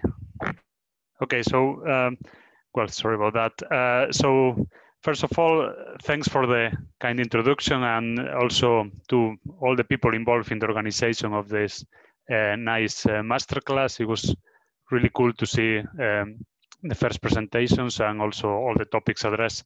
So today I'm um, so I'm going to be presenting part of the research we do in, in my group at INL, which has to do with uh, how we manipulate light with nanotechnology, and uh, but especially on how nature does manipulate light with uh, with uh, nanostructures, and what can we learn from that, and also if we can even use it for some of the nanotechnology applications we um, we are investigating, right? So there is a little bit of uh, understanding or trying to figure it out how nature is doing it, but also plenty of uh, actually uh, using nature uh, as a as an inspiration. But before I get into the details on what we are actually doing, just let me uh, maybe well, uh, maybe I don't need to remind you, but uh, you, you know very well that uh, actually manipulating light is at the core of many of the most important technologies uh, nowadays, right? I mean, uh, for example, energy collection is definitely one of the of the of the main technologies that comes to our mind when we think about uh, light manipulation or light harvesting. But then you can find um, manipulation of light through different technologies in displays, illumination, imaging, well, you, you name it, right? And um, I think the core um, message uh, I want to send today is that uh, not only the material is important, but also how we nanostructure that material when it comes to uh, actually addressing uh, nanotechnologies for light manipulation, right? And in all these technologies you see here, uh, you see here, apart from a huge development in material science, there has been also a huge development on how to integrate those materials, how to nanostructure them, for example, to produce um, to produce different uh, different colors in the LEDs, right? And uh, and of course, um, nature got there first, uh, as usual with many of uh, many other applications, right? And um, and uh, and actually, this example is quite, uh, I would say, a nice one. Is probably you have seen peacocks around or many other birds that show these very strong, um, very bright colors at different wavelengths. And um, the interesting uh, part or the interesting bit about uh, technolo technological applications here is that these colors in many cases are not produced by a by a, a dye molecule so they are not produced by absorption but they are actually produced by pure uh, morphology pure nanostructuration. So you take a material which otherwise may be transparent you nanostructure it the, with the right uh, pattern and actually through just pure light interference if you uh, design it uh, with the right parameters, right, you might obtain very strong uh, constructive interference, so a very strong color for a particular wavelength. This is the most obvious uh, function of these um, structures in nature, and you have probably seen it uh, one million times. There are from the most simple structure, just a simple multilayer, to the very complex nanostructures, like in the butterflies that produce this very strong blue colors through this sort of Christmas tree uh, protein structures. No? but again, uh, the important uh, parameter here is always that this nanostructuring is on the order of the wavelength of the light we are investigating. And of course, because we are uh, we are humans, we are attracted by these bright colors, but in reality, there is much more to it than only bright colors. In reality, apart from producing this bright coloration, we can explore other functionalities for those uh, nanostructures. And in fact, talking about biomimetics of these nanostructures, uh, there has been many examples already in literature on, for example, designing very efficient uh, sensors out of color colorimetric sensors, just rep replicating the butterfly nanostructures in the lab, for example. Or one of my, let's say, favorite um, uh, uh topics of interest is actually how to enhance uh, light absorption and uh, in particular, for example, how to enhance photocatalysis just by nanostructuring the materials you are considering on a way that actually light will be trapped by that, that sort of nanostructure. In this example here, for, for example, they use, uh, they mimic this opal structure, which is a mineral you can find in, uh, in Australia, for example. and just by nanostructuring the material with that same shape, you obtain a, a very strong enhancement in the absorption at the, uh, at the photocathodes of the, of, of the photocatalytic system. Right? So th these are two examples which are well explored, but uh, give us a very good idea on where these um, mimetics of just these uh, colorful systems can take us. But today, I'm uh, I'm actually focusing on a different light harvesting process uh, in photosynthesis, arguably the most important uh, light harvesting process for life, uh, right? Um, and and this is somehow a surprising uh, a surprising uh, uh, case because while we have been studying all all these other type of nanophotonic structures in nature, it happens that in the case of photosynthesis, uh, the community is very well aware of uh, how photosynthesis works. Uh, we know a lot about the biochemistry of photosynthesis, even how the uh, botany, of course, we know a lot about how the plant works. But in terms of uh, whether the structuration of the inside the cells of that tissue where photosynthesis take, takes place, it has been quite uh, overlooked in terms of of, uh, of, um, of uh, nanophotonic properties. So the, the nanostructuring of, of the tissue uh, for photosynthesis has not been explored too much in that direction. And for me, this is surprising because you might expect that uh, for sure if uh, uh, an organism like a bird uh, might use uh, photonics, you might expect that actually in something as important for light harvesting as photosynthesis, photonics might also play a role, right? And this is basically what we are uh, um, what we are investigating in my group, in part uh, in my group. And of course, uh, this is driven by uh, scientific knowledge, but it's also driven by important technological questions, right? And um, as you are probably aware, photosynthesis is uh, interesting in many aspects. Uh, probably one of the most um, interesting at the moment or most um, studied worldwide is so-called artificial photosynthesis, uh, especially because through water splitting, uh, we can obtain clean energy production, right? So there is a huge community working on this direction. And I think there, uh, the light manipulation obviously uh, plays an important role, right? But there are other aspects, like for example, crop yield enhanced uh, through uh, photosynthesis manipulation, which has uh, been uh, drawing plenty of, uh, of attention lately. So all, all, these are aspects that we think that by understanding if actually nanostructures in the plant cells manipulate uh, light, we can also produce huge impacts on this on this type of technologies.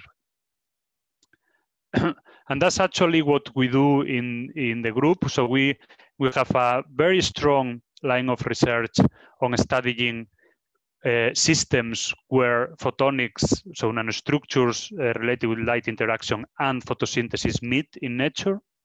We want to understand how does it happening, but we also explore how to use that as an inspiration to actually introduce that into already known devices. So you can, of course, think immediately at, at a solar cell, right? But there are many other examples I, um, I hope I can come across today.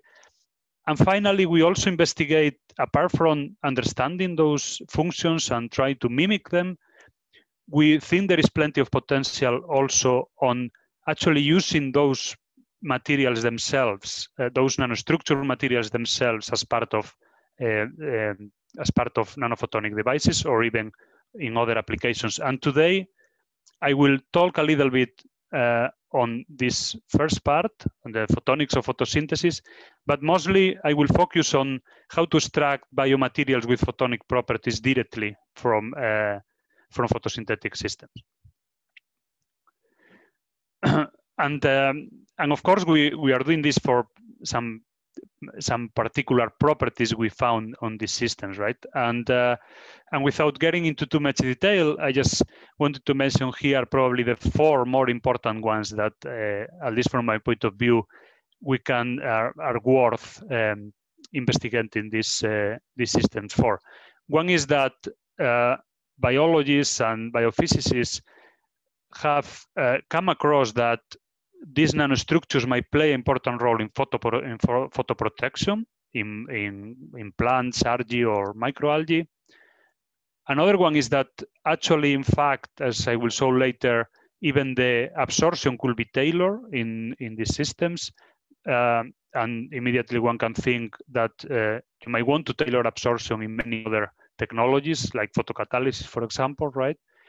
Uh, finally, something that has not been very explored is how this uh, nanostructuring might affect the photochemistry, in fact, in photosynthesis itself, but other, other processes in the cells as well. And the last one uh, that I already mentioned is this uh, possibility to produce very resilient and bright colors with materials uh, using simple, relatively uh, easy to, um, to fabricate materials, no? like biosilica, for example. So these are four properties that are definitely very technologically interesting and that uh, and that are behind our uh, our interest for the for these systems as well. Okay, so let me start by showing you then uh, in this first uh, part of my talk, I, I would like to show you very briefly one, uh, I will say, key example on how photonics and photosynthesis uh, can interact in a, in a natural system. So this, what you see here at the bottom uh, right is a, a leaf of a, a begonia uh, a plant. And, uh, and as in any plant, you, uh, you will probably expect that leaf to be a green leaf, right? Uh, because the main pigment is chlorophyll basically there. So what happened uh, here is that these leaves actually under certain conditions, they will show a very strong blue uh, coloration. Actually, this, this type of begonia is called uh, peacock begonia. And the reason for that is that this blue uh, coloration is in fact uh, quite metallic. The, the aspect is quite metallic. So we, we didn't uh, know why, why this what was causing this color. And uh, so then we approach it in, the, in our optical microscope and what you see here on the left are the, are the organelles responsible for this coloration. These are actually chloroplasts, so it's where photosynthesis, in fact, take place in the plant. But in this case, they, they produce this very strong blue reflectance. And this is quite striking because you saw the main pigment here is chlorophyll, so you will we will expect a green coloration, right? So we inspected even closer with uh, TEM and uh, SEM, and we realized that in reality, the, the, the reason why uh, this blue strong coloration was taking place is because the membranes are stratified in the way you see uh, here. So each of these membranes contain the, uh, the pigments, but then each membrane is separated from each other a very well-defined distance. And indeed, this distance is the appropriate distance to produce light interference between the different layers for the for the this uh, the blue uh, color. And that's the reason why we see this blue this strong blue color.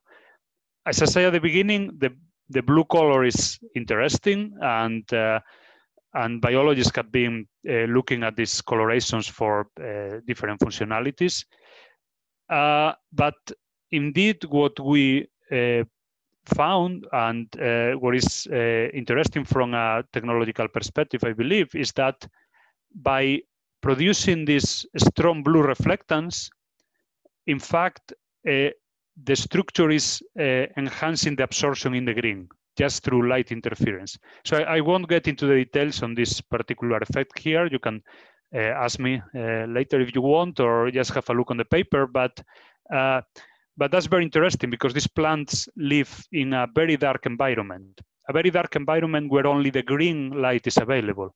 So that means that this photonic structure might actually be, a, if you want, a design appropriately tuned for the wavelengths to absorb the wavelengths available where this plant lives. So immediately one can think that this type of approach uh, could be extrapolated to, for example, solar, solar cell technology. You know? And we are actually working on similar um, biomimetic approaches on on that directions for this for this system. So um, so this was a quick uh, just a quick example on uh, on how photonics and photosynthesis can uh, can mix to in a natural system to enhance the light uh, harvesting capabilities. But let me now change uh, gears a little bit and uh, moving into the main topic of uh, of my talk, uh, which is uh, at the moment a core research line we are following, and um, and is more related with how to extract directly nanophotonic materials from nature rather than just using it as inspiration, as in the previous example I shown, uh, here we're interested in just extracting those materials and using them in particular applications. and this example, actually, this is one of the organisms we investigate in this direction in the lab, but it's probably the most uh, uh, the most suitable example are uh, diatom microalgae. So diatom microalgae, for those of you who are not familiar, are unicellular organisms. I mean, you can find them almost everywhere in any aquatic environment on Earth. And it's, it's actually uh, quite a relevant organism for uh, us all because it, it it can produce is well it's not uh, an exact number but it, it seems it can produce up to 50% of all of the oxygen available in, on earth so you can imagine that's quite uh, interesting from an environmental perspective especially uh, regarding the current climate situation right so uh, the fundamental studies on this direction are uh, very much welcome uh, on that uh, on that sense. But what we are interested in particular here is that they are actually a, a source of they can be a source of nanophotonic material.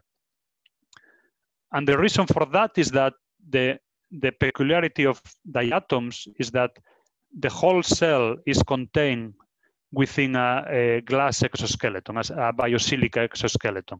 So th this is uh, formed through a biomineralization process in, in, in the aquatic environment where they live. And they can come, depending on the species, at the most uh, exotic shapes. So you can see here just an example of all the shapes you can find in nature. The, there are hundreds of thousands of different species, so you can find really uh, many different shapes.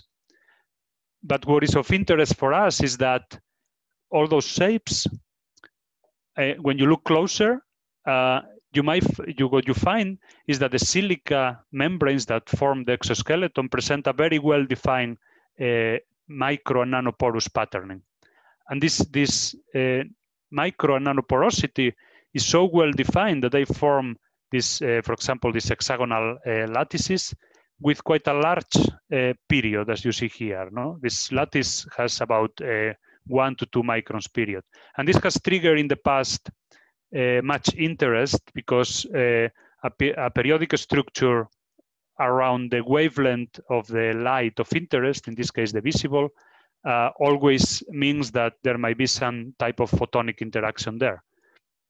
So this has been explored uh, quite uh, quite a bit. Actually, there is uh, quite a, a extensive literature on this direction, and uh, from my point of view, uh, it's a very interesting scaffold material. It's highly porous biosilica, meaning that that is easy to functionalize for different applications. And this has been explored, for example, for in photocatalysis uh, applications, no? using the, the, this biosilica as a, as a scaffold for uh, photocathodes, for example. Uh, but the photonic uh, properties, meaning how this structure manipulates light, or if it, it even does manipulate light, light at all in a, let's say, in a relevant uh, way, it has been a bit elusive uh, in the literature from my from my perspective, and and that's why we uh, decided to instead of focusing on the on the part of the diatom which has been mostly explored, which is what we call here the valve, is this top and bottom uh, parts here of the exoskeleton. We, we have been focusing on what is called the girdle band, which is this membrane, uh, this uh, a sort of belt that encloses the, uh, the exoskeleton. And when we extract the, those girdles and we have a, a, closer look, you find this is a very well-defined silica membrane. Uh, and with this sort of a split ring shape. So this is already quite interesting from uh, from a light capturing perspective. But what is really uh, exciting is that uh, when one looks uh, even closer, we find out that uh, in reality the whole membrane is perforated by this very well-defined lattice of uh, micro or nanopores, if you want.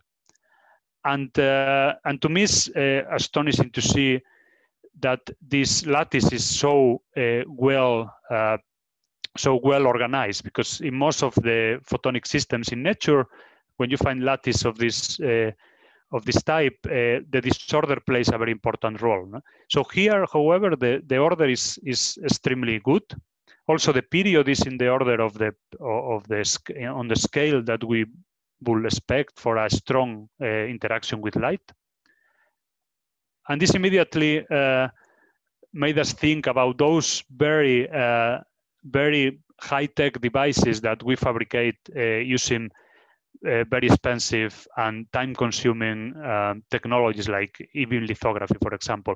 What you see here in this inset is a, a classical example of a photonic device fabricated with um, electron beam lithography. is a silicon membrane where uh, the authors perforated a very similar lattice to the one I'm showing here. Um, and you see that the, the areas are not amazing. So uh, you can see immediately that the comparison is quite uh, is quite uh, outstanding. But there are other interesting aspects uh, to these membranes, and it's the fact that uh, the membrane is highly porous also in the inner side. So it's not only that the lattice is very well uh, is very well organized, which is important for the photonic properties. It's also that uh, actually the internal uh, structure is quite rich. So this is a rendering of the internal structure of, of the membranes. And you can see each pore is connected between themselves. Um, the people, uh, the biologists investigating these uh, systems believe that th this uh, high porosity might be related with exchange of uh, with the outside of the cell. Uh, so it's a sort of microfluidic channel, but still it uh, it has plenty of interest from the photonics per perspective because now that we know the structure, we can actually investigate what are the optical properties and for example, we were able to measure that indeed this, uh, this very well structured material behaves like in the case of the bird I saw at the beginning. No? This periodicity induces a very strong reflectance at a particular wavelength, in this case in the near infrared. So we don't know the biological functions for this, but definitely uh, a strong reflectance in the near infrared is something we could use in different, uh, in different applications. Uh, moreover, we, we also uh, observe uh, color production, again, as expected from a very well ordered system like, like this one. Um, and that keep us thinking, uh, okay, so we know now that we have a system that is produced by nature uh, with a very well uh, defined photonic properties. So let's see what what type of applications we can found no, for this system. And it happens that uh, in, indeed biosilica produced by diatoms is already being used in, in, in many applications from, let's say, very simple applications like uh, insecticide for your pets at home, or even high-tech applications like in, uh, as a uh, filtering material for blood, for example, in biomedical applications. But all these applications are, have nothing to do with light manipulation. And the reason is, in part, I believe, is that uh, all this material that you can buy off the shelf in reality comes from mining, uh, for example, in, in, uh, in the States. Uh, and of course, the quality of this fossilized uh, uh, microalgae is not amazing. So the, the optical quality is quite poor and that's why we mostly work in reality with strains that we cultivate in the lab that we can actually uh, grow on demand under different conditions so we can actually control uh, those conditions and also the quality of, uh, of the material we grow. And with that, we, we were able to indeed develop a methodology where we can start by, the, by using the actual microalgae culture. And we just remove the organic components using uh, different chemicals. Then we, uh, we proceed with the separation of the different parts of the exoskeleton. So we, we are able to keep only the, those parts which are photonic, in this case, the, the so-called girdle band. You can find the details about this in this publication, actually, on how to do this separation. And finally, we are able actually to deposit them on a controlled manner on a substrate. And that renders quite well defined and flat, uh, uh, again, nano patterns, no? as you can see here.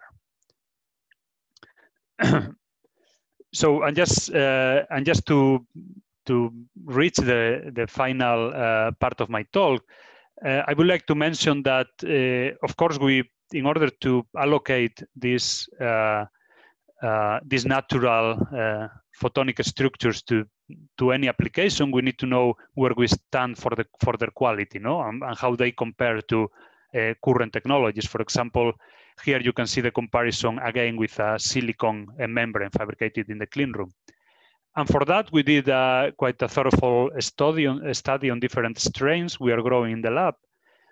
And this uh, is probably to me one of the most exciting uh, findings that indeed the, the period, which is the most important uh, parameter uh, in terms of photonics, is maintained between uh, specimens and even between strains of the same uh, of the same uh, species. So as long as you keep the species, there is a variation of about only five nanometers in the period of the whole lattice, which is really uh, really impressive in terms of of disorder for photonic applications.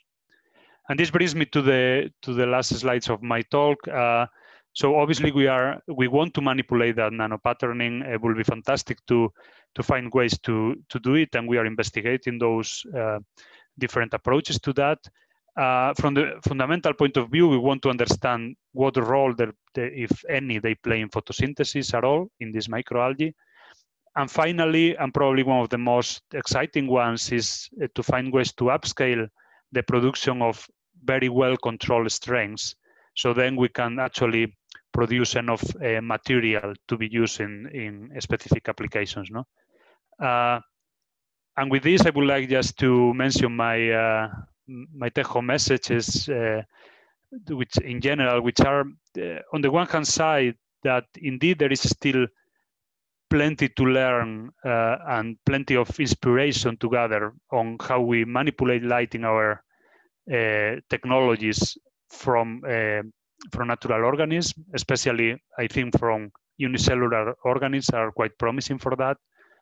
And and my second uh, takeaway is that uh, actually we can even extract those devices in the future, or at least part of those devices directly from the natural systems. And with this, uh, of course, I would like to thank all the team who has uh, worked on this uh, to obtain all these uh, nice results. And I would like to mention the collaborators, especially Son and Matt, who are actually collaborators from the from UT Austin, where, as you probably know, there is the largest uh, microalgae collection in the world. So this is really nice to have them on board on this. And of course, I would like to thank all the all the funding bodies for this and you for your attention.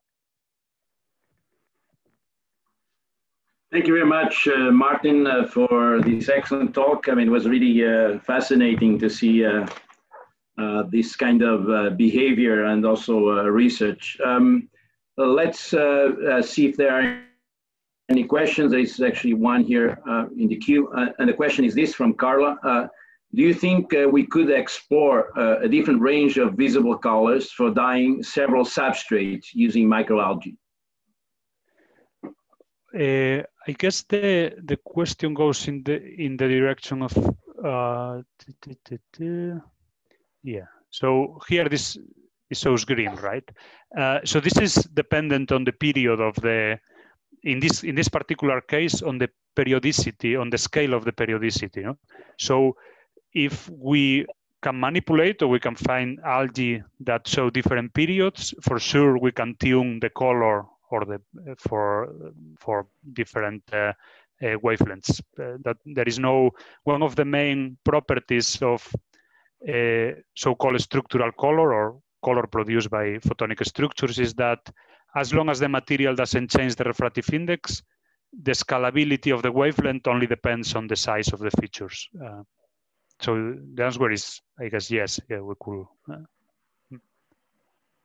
so I, I welcome um, uh, other questions, please. Uh, if you can, uh, you write it down. Uh, in the meantime, I, maybe I, I can I can ask a question, which is, you mentioned um, uh, the fact that you have this uh, uh, regular pore structure um, to a point that there is only very small variations. You said something like five nanometers or so. But I, I notice mm-hmm. in your images that there are areas within the structure they don't have any pores at all.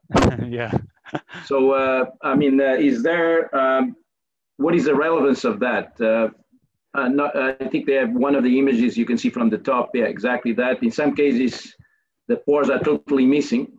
Uh, mm. There is one example there. And if you look at the maybe more wide view, there are many pores missing. Uh, I mean, do you, uh, you know what is the relevance of that? Well, that's, that's a very, um, yeah, actually, that's very relevant from a photonics perspective and I don't know if it's relevant from the biological perspective actually. so it's a it's a very interesting uh, question we always get in any, uh, let's say, more photonic uh, photonics community. Uh, so from the biological perspective, uh, I don't know uh, what relevance that that could have. It's true that uh, we have analyzed the number of defects per area, and we have found that you find one defect every 100 holes, which is low, quite low, actually, I would say, no? Um, for at least for our for our uh, in our perspective. Um, then for the photonics applications, uh, usually if you fabricate a photonic crystal in the clean room, a photonic crystal, a photonic structure like this one, the way to fabricate a nano cavity for light is actually to, to leave a defect like this. So uh, that's very interesting because uh, that means uh, eventually this could be a nano cavity for so light could be trapped on that on that uh, defect. Uh, but well, uh, yeah, let's say biologically, yeah, I'm not sure what what what could be the, but yeah, it's a very interesting, definitely, effect. Yeah. All right, thank you. Um, any other question? Well, I guess if not, uh, uh, let me thank you, Martin, for your very interesting contribution, and then I think I will uh, move on into uh, uh, the next speaker. Um, the next speaker will be Professor João Mano. He's a full professor in the Department of Chemistry at the University of Aveiro and director of the COMPASS research group from CICECO at uh, Aveiro Institute of Materials. Uh, his research interests include uh, bio-inspired materials, cell and tissue engineering, and, and, nanomicro platforms for biomedicine. And he's going to talk about bio-inspired tools for the development of materials and devices for biomedicine. And again, I, I invite everyone to um, uh, submit uh, questions uh, so that we uh, we can discuss them uh, after the, the talk by Professor Romana. Uh, Professor Romana, please welcome.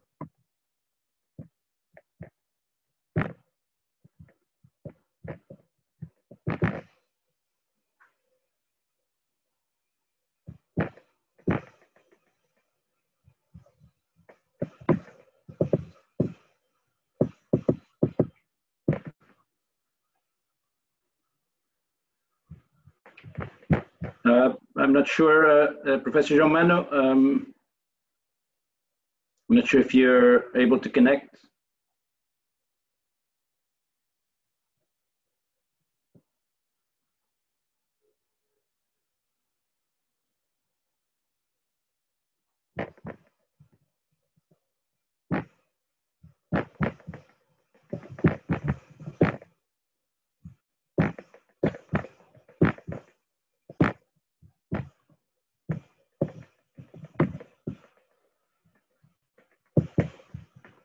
Uh, Professor Romano, I, I, see you in the attendees, but I think you need to move into the panelists for some reason.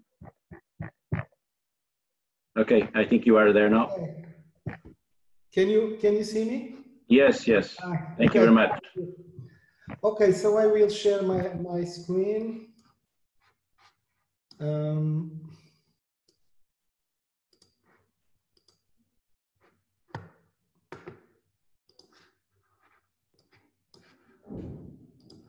So thank you very much for the invitation. It's really a pleasure to, to share with you some, some of our interest in trying to uh, use the nature as an inspiration to develop new, uh, new materials and devices special for, for biomedical application. So we, in our group, we are really at the interface between material cells, biomedicine. So of course, we are working a lot with biomaterials. And this image shows some some possible materials that are widely used in clinical applications and that have been very, very important in the, uh, increasing the quality of life of patients. And you can, you can uh, uh, uh understand some application. Many, many, many people are using this kind of prostheses and implantable devices, both for structural and or functional point points of view. Of course, um, there are still several uh, problems that these materials that are already in the clinics uh, cannot uh, solve because the defects are too big, because of the problems are too complex. some diseases and clinical conditions can really not be uh, solved by these, uh, this kind of uh, biomaterials. And that's why there are a lot of people trying to develop more performance uh, biomaterials and devices for, for this kind of application. And I, am sure that most of the, the audience is, uh, is as an engineering, a more engineering background. And of course, uh, you can realize that there is not one way to solve a particular problems. Usually there are several ways to solve a problem. And one possibility is really to try to learn with nature and try to see how nature has evolved in terms of uh, uh, uh, ways to resolve problems. And uh, as we saw, there are very interesting, and I will try to put the pointer. Okay, we saw in the very nice presentation before the optical properties and photonic properties that uh, nature already implemented in their, in, in their surfaces. But we can also play with shape and design and geometry to, to solve different kinds of problems in engineering. Of course, surfaces, and I will explore much more in my, in my presentation of today. Also mechanical properties, try to solve, to use hierarchical systems and design from the really from the molecular scale up to micro scale to increase mechanical properties, in particular toughness, and also magnetic. So there are some examples that I'm showing here where we can really take lessons from nature in order to improve uh, some solutions. And my first present, uh, my first example is related with the use of this very famous super hydrophobic surface. I, am sure that most of you know that, surf, that uh, some surface in nature, are, they are really water repellent. The, of course, the most well-known uh, surface is the lotus leaf, which is uh, where the contact angle of water can reach 160 degrees. And there are some other examples that I'm showing in here in these slides and that you can realize that uh, uh, they are really very water repellent. And in the common aspect in all of these surfaces is really topography. And so the secret, and this is very well known, that the secret is again topography like that, that we saw before on the, the light uh, uh, responsive system. Um, and so the, the, the, idea is that we cannot have this kind of super hydrophobic surface just by having a, a very hydrophobic surface. We really need to combine with nano and micro roughness that will provide, and theoretically, it's very well known why, why we have this kind of behavior. So um, in our group and in many groups, people are trying to uh, synthesize and, and, uh, uh, and produce super hydrophobic surface from different, using different types of materials. In this particular work, we used a biodegradable polymer and just using a, a um, solvent-based method, which is quite simple. We could produce surfaces that exhibit both micro and nano roughness. And you can see that when we start with a smooth material, we have a quite hydrophobic uh, surface, but after uh, modif modifying the surface with no extra chemical modification, we can have this kind of super hydrophobic surfaces. So in biomedical application, this kind of surface can be applied in many, in some applications. So we can, for example, develop antimicrobial textiles or systems that repel bloods um, uh, or to use as controlled drug delivery systems because the water will be uh, will degrade or will impregnate much more in the in, in the much more efficient way the release of substances that are inside the material. So we can also use this kind of super hydrophobic surface. And in, in our group, we have been working a lot on trying to use these as platforms for screening. So we can um, we can uh, uh, deposit different types of biomaterials or, or droplets with proteins. And in a high throughput way, we can evaluate what is the difference between its, each spots that are completely isolated from the others because we have super hydrophobic regions that that is that surrounding that surround each of the, the spots. So uh, also we, and, and this I would like to, to show an examples, try to use these platforms as a bio-inspired uh, uh, template to process particles. And I would like to show you some examples on how we can do that. So this, this example is really shows a, a, straightforward way to process particles and particles are very important for biomedical application. They can encap encapsulate drugs or cells for different types of, of uh, therapies, including in tissue engineering. So to accommodate cells in the three-dimensional matrix that can generate a, mic a mic micro, tissue, a micro tissue. So our idea was to try to use these superhydrophobic surfaces to support droplets of aqueous solutions that can contain biomaterials and cells, whatever. So in this case, we uh, if we deposit this kind of droplets, they will generate spherical droplets that upon solidification that can be done by cross-linking. So we can form microgels uh, with different sizes depending on the volume of the droplets that we are depositing. We can incorporate cells inside. And so the concept is that we can generate a spherical object without having any liquid outside, which is usually the way we are preparing microspheres using emulsion or other kinds of techniques that usually needs to, to have two liquid phases uh, to, to process this kind of shapes. In this case, we have basically air surrounding the object, so we can encapsulate drugs that will have what we call in, in more in the pharmacy side, 100% uh, of encapsulation of efficiency, because all the materials that will uh, put uh, that will be contained in the initial droplets will stay in the final um, in the final microgels. We can incorporate very expensive proteins. We can incorporate cells, and the cells will kept alive because all the processing can be done in very mild conditions, okay? So we can also incorporate other objects like magnetic microparticles if you want to control the mo motion of the, of the objects.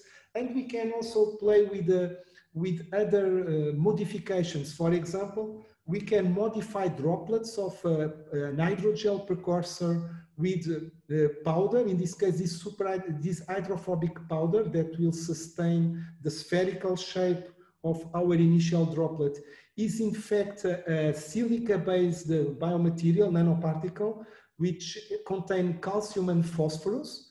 And so we can decorate the surface of the droplets with these uh, nanoparticles. Then we can irradiate with light, we can cross-link our, uh, our droplet because it contains methacrylated gelatin. So gelatin with double bonds that with light and the photoinitiator can generate a stable um, hydrogel. So we can have an hydrogel that will be completely surrounded by this hydrophobic powder that was designed to have particular properties, which is bioactivity. Bioactivity in the orthopedic uh, uh, point of view. So when in contact with bone or a physiological fluid similar to, to the one that we have in the, in the human, uh, in, the, in, in blood plasma, they will induce the precipitation of hydroxyapatites. So this is very important if we want to integrate these microgels to, for example, bone tissue.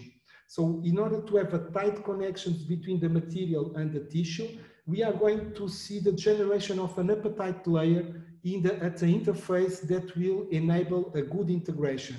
So we can check this ability for apatite deposition in vitro so if we, if we uh, immerse these, uh, these beads in the simulated fluid, uh, we have the, the formation of an apatite layer and this will increase the thickness of an apatite layer with, with, um, with the immersion time. So we have a, an increase in, in, uh, in the apatite layer from 0, 1, 7, 3 or 7 days. So this is really important if we want to use, for example, to, uh, to, uh, to regenerate bone tissues to have this kind of beads that could be implanted into the defects and the surface is engineering in order to interact very tightly with the surrounding bone. So this is a, a possibility of using so this superhydrophobic, not as an implantable material, but as a platform to process and to fabricate other kinds of materials. So the second example is also bio-inspired and is related with adhesion.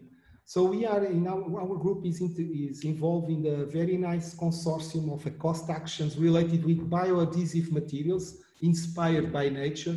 And of course you can realize that there are many, many examples of sticky materials, organisms that can have permanent or non-permanent adhesion to surfaces. And a very nice example is, of course, mussels. Mussels can attach virtually to any kind of substrates, even Teflon or very uh, surface with very low surface energy. So that's why people have been trying to understand why, what is the reason why these filaments that are secreted by mussels can adhere to this kind of, to any kind of surface. And of course, people from more from the biochemistry side, they analyze the, the composition of the proteins that are produced by the, by the mussels that, that allows it, the, these organisms to attach to rocks. And of course, they can sustain uh, very strong forces from waves and from currents in the ocean.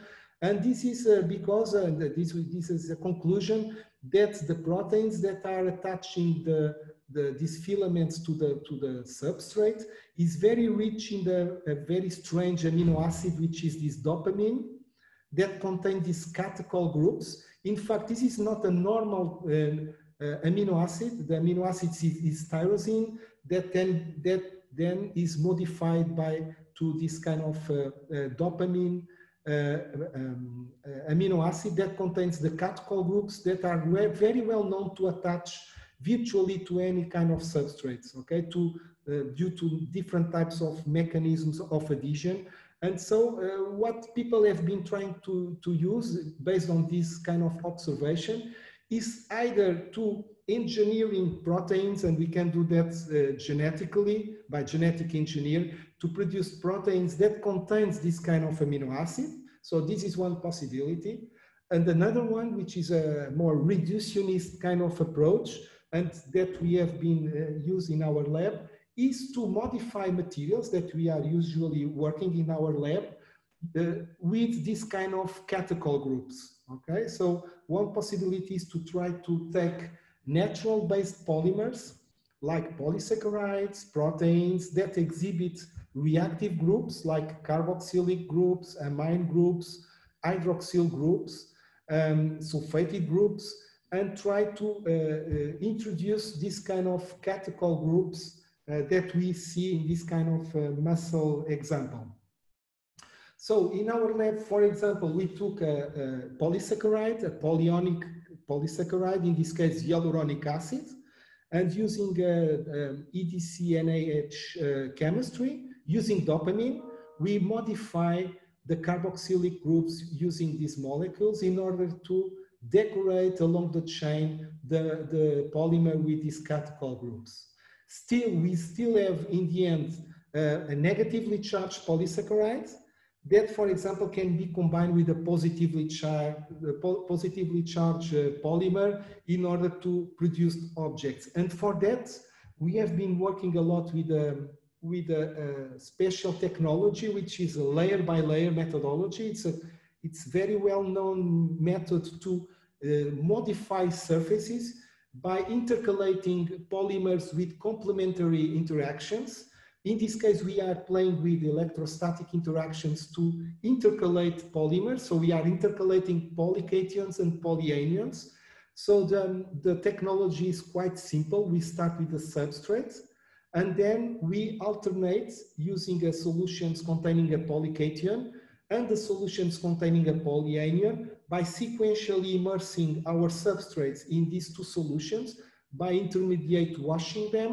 What we are doing is to each, each, each dipping process, we are adding a new layer of our polymer and at the same time we are reverting the charge. So when we go for the oppositely charged solution, we, are, we can, uh, we can uh, absorb another uh, layer and we can do that cyclically in order to have multi-layers over the substrate with the number of layers that we wish and therefore we can control the thickness of the coating okay so we have been working with this kind of uh, technologies we can use different types of building blocks to uh, absorb during the multi-layered processing, linear branch copolymers. We can even introduce um, objects like particles, nanoparticles, uh, and also even uh, living components like cells or microorganisms. So we can use them as a, a, a, one of the components of the layer by layer process. So most of the people that are using this technology is to coat materials, okay, as a, to decorate, to, to modify the surface um, using this kind of uh, polymers. Uh, in our group, we are working a lot on trying to use this technology to prepare objects like freestanding membranes, capsules, tubular structures, so three-dimensional devices that can be used in different biomedical applications, okay? So for that, as an example, we can generate membranes by doing the layer by layer over a surface like polypropylene, which is a low surface energy. So after the multi-layers, we can detach the film that is purely composed by multi-layers of different types of polymers. In this case, we use chitosan and uh, I think uh, uh, chondroitin sulfate or alginate, which are, uh, the first one is a polycation, the others are polyanions. So we can generate multi-layers, films that are just composed by multi-layers, and then we can do some other modifications like cross-linking in order to control the mechanical properties. Okay, so in, in, the, in the work that we use, uh, so instead of having, for example, chitosan and the polyanion, we used chitosan and uh, our uh, hyaluronic acid modified with dopamine, okay? So we could generate coatings, uh, for example, over a glass slide, that if we have that uh, that have quite good adhesive properties similarly like what we see in, in, terms of mussel attaching to the rocks. So if we have just a, a normal film of chitosan and hyaluronic acid we have a load of detachment between two glass slides of about say 150 but when if we introduce some dopamine in our uh, um, hyaluronic acid our multi-layers gets much more sticky, much more adhesive properties.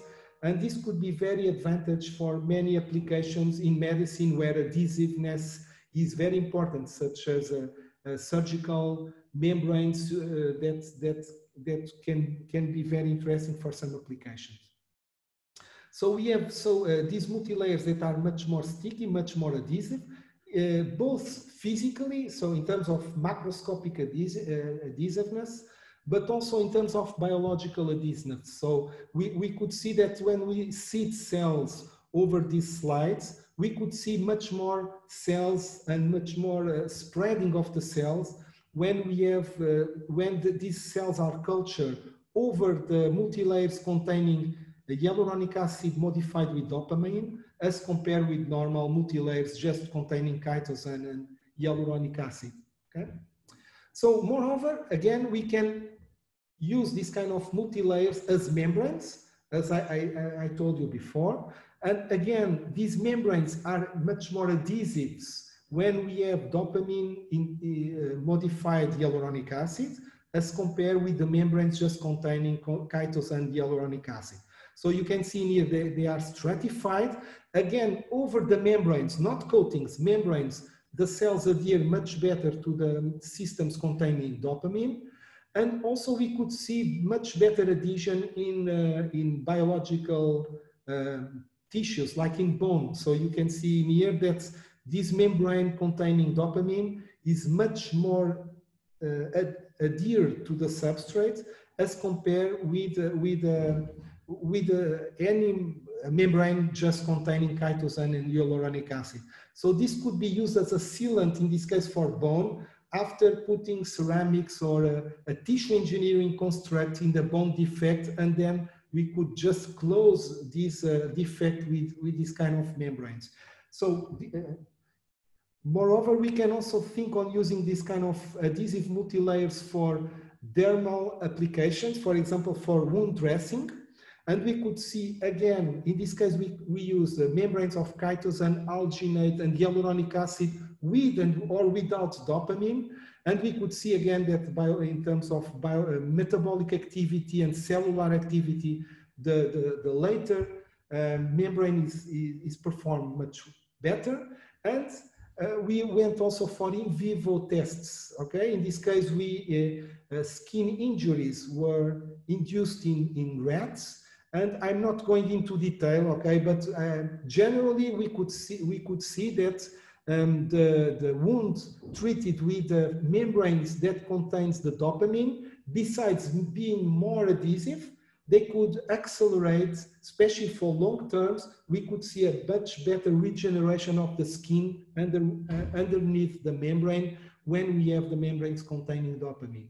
Okay, so this was a, also an, an interesting result in terms not only of adhesiveness, but also uh, a biological outcome seen in vivo in the Wistar rat model.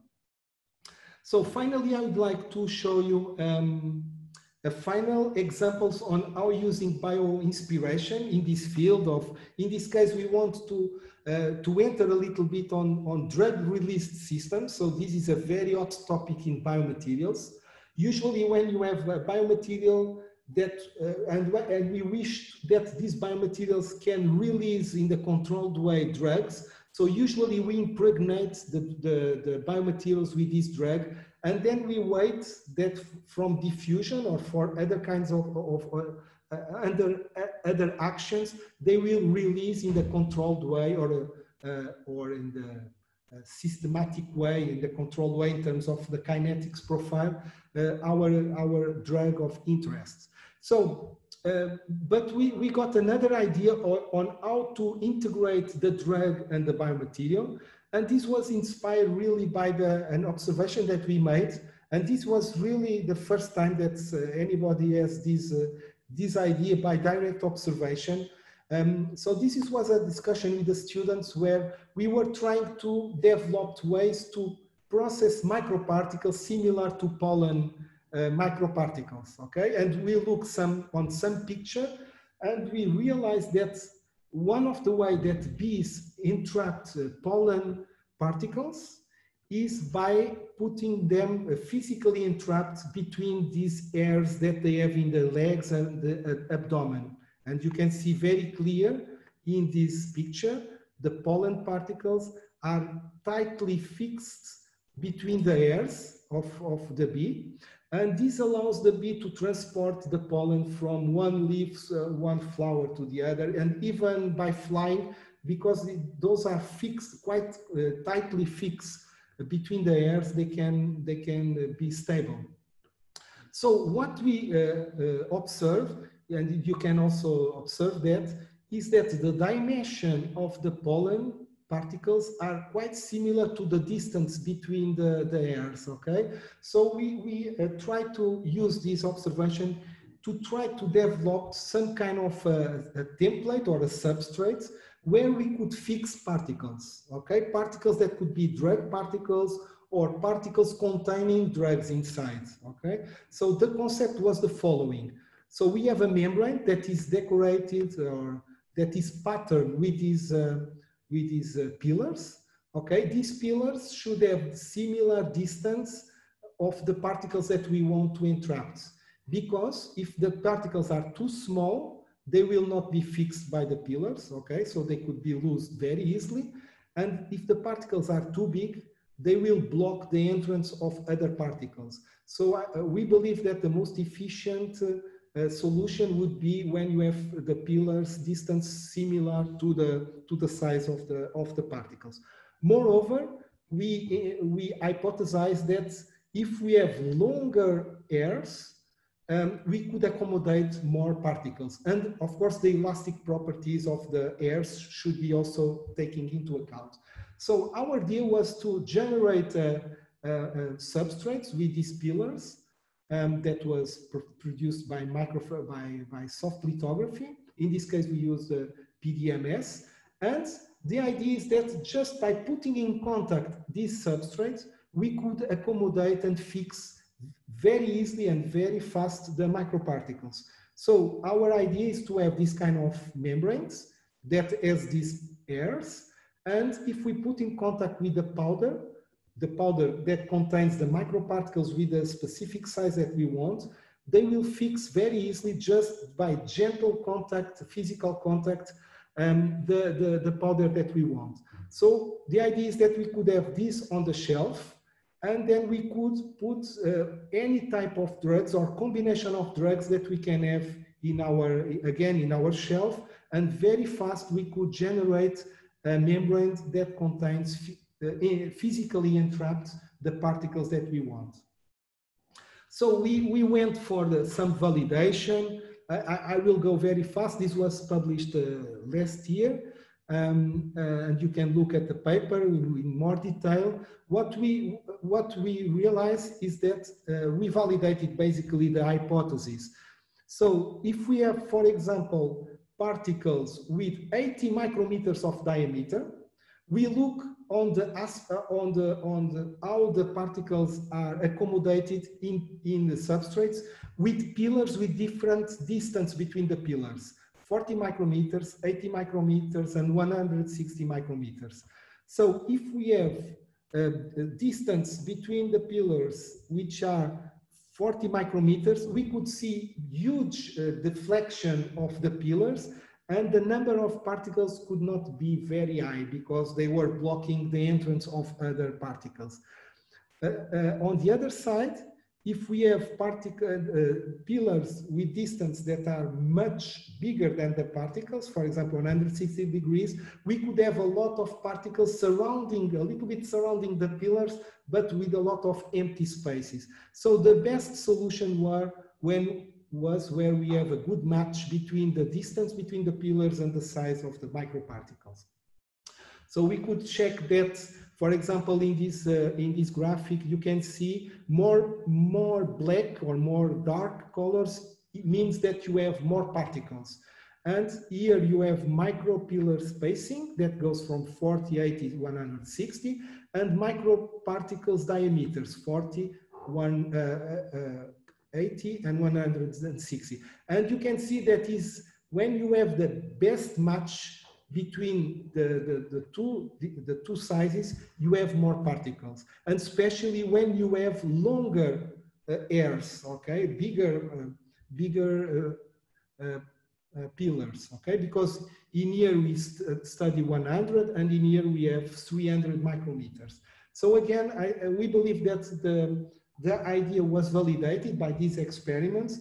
We went for just a very quick uh, example of application. And in this case, we used uh, alginate microparticles containing an antimicrobial uh, drug.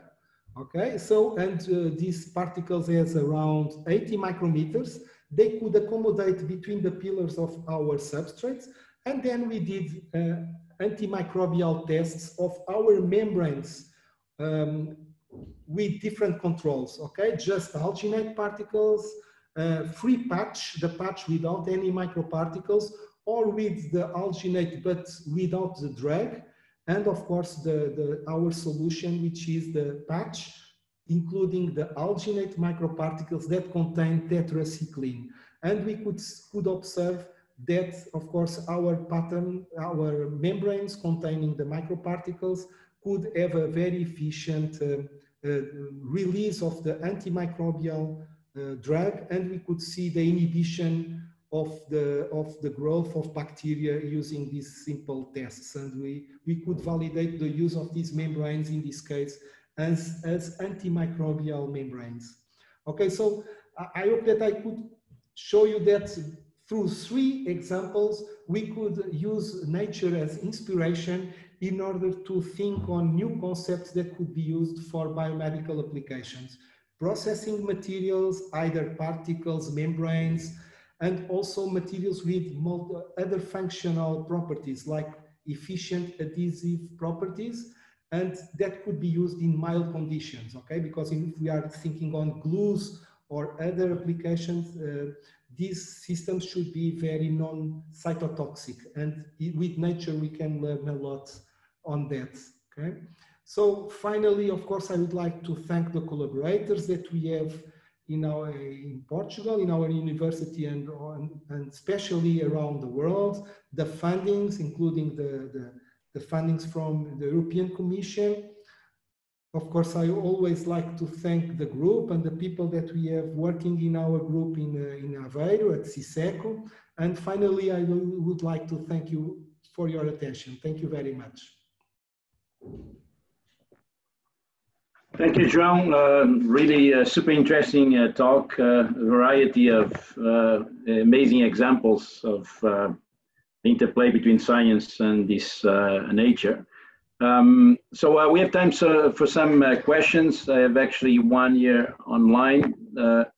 and the question is this, this was posed by Carlos Silva. João, do you think it would be feasible to use LBL processes at the industrial scale for continuous functionalization of surfaces?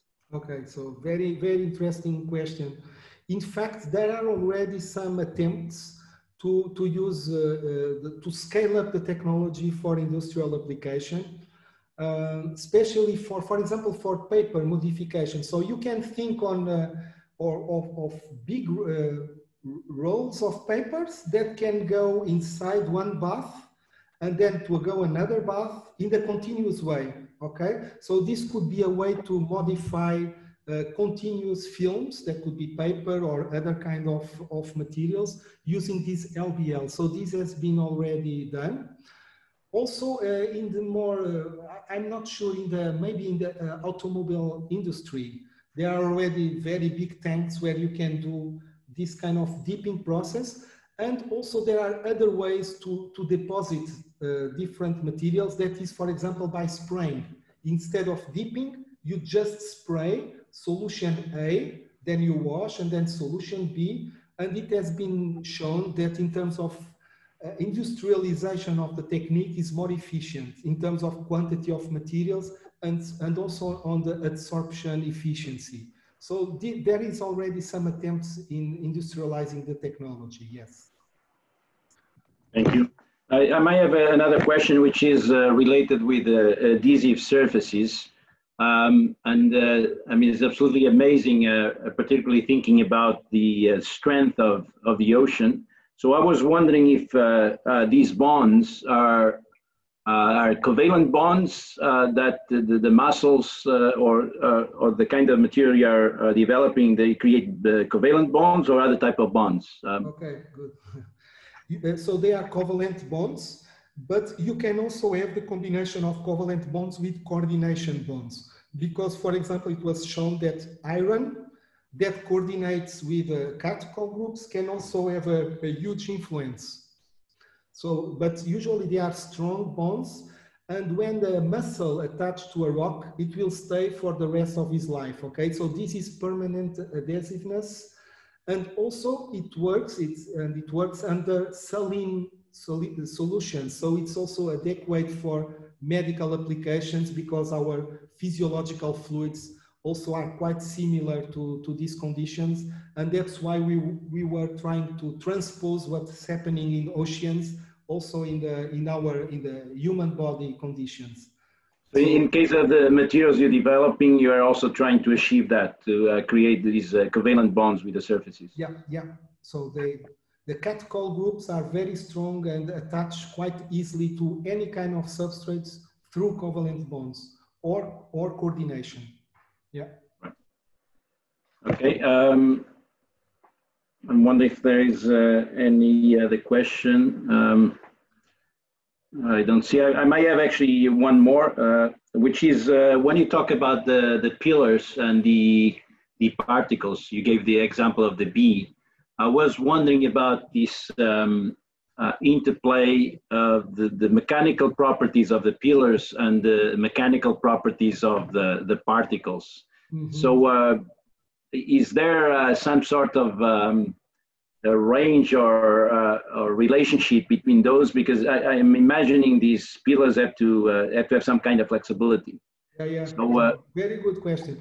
So we didn't analyze the influence of the mechanical properties of the particles. So we used very stiff particles of poly, uh, polyester, like polycaprolactone. So, but we analyzed the influence of the stiffness of the pillars. So we could generate pillars with different Young modulus and what we, uh, what we observe is that if we have very stiff pillars, it's a little bit difficult for the particles to accommodate because they should open a little bit so that the particles could go inside. If they are too soft, they physically will not be very effective in fixing the particles. So we, we analyze what, what would be not the optimal, but we, we show that there is a, a, a better outcome in terms of fixation in some intermediate values of, of stiffness. And so we analyze that and we report it. And you are absolutely right. Right. Okay, thank you very much. Uh, I'm just thank wondering you. if there is any other questions. Uh, if not, uh, is is a bit time to wrap up. Uh, so kind of uh, on uh, on the behalf of uh, the UT Austin Portugal Program and also on behalf of the organizers, uh, Professor Brian Korgel at UST Austin, and then uh, uh, Silva also at the um, at CTEC, uh, CITEVE, um, and myself. Um, so I would like to thank, of course, the the speakers. this was a, an excellent series of speakers talking about very broad uh, themes. Uh, just uh, as curiosity, I, I, just looked at uh, the meaning of biom biomimetic, and uh, actually the definition is the emulation of models, systems, uh, elements of nature for the purpose of solving complex human problems. Um, of course, we are uh, interested in materials in general, and we had a very good, um, uh, very good examples uh, throughout this afternoon, starting with Keith which uh, uh, talk about bacterial extracellular electron transfer with uh, applications in uh, biogeochemistry, bioelectronics, human health. Uh, then uh, followed by Adrianne Rosales, that trying to mimic biological structures. Um, and then we had Martin, which talked about light harvesting and manipulating uh, light using algae. Uh, gave uh, uh, some interesting examples. And finally, um, uh, Professor João Mano that talked about several things from hydrophobic surfaces to adhesive surfaces, as well as this interplay between pillars and particles. So this was actually a very interesting afternoon. I've learned myself quite a bit. Um, I don't know, Brian, if you want to say a couple of words also. Um, I uh, really appreciate uh, the participation of everyone and then, of course, the speakers. Yeah, I, I, don't have much more to add to that. Just thanks again for everyone for joining and the speakers for giving really great talks. I really enjoyed it. Thank you. All right, so I think we are we are set for today. Uh, hope to see you uh, in the future. Bye bye.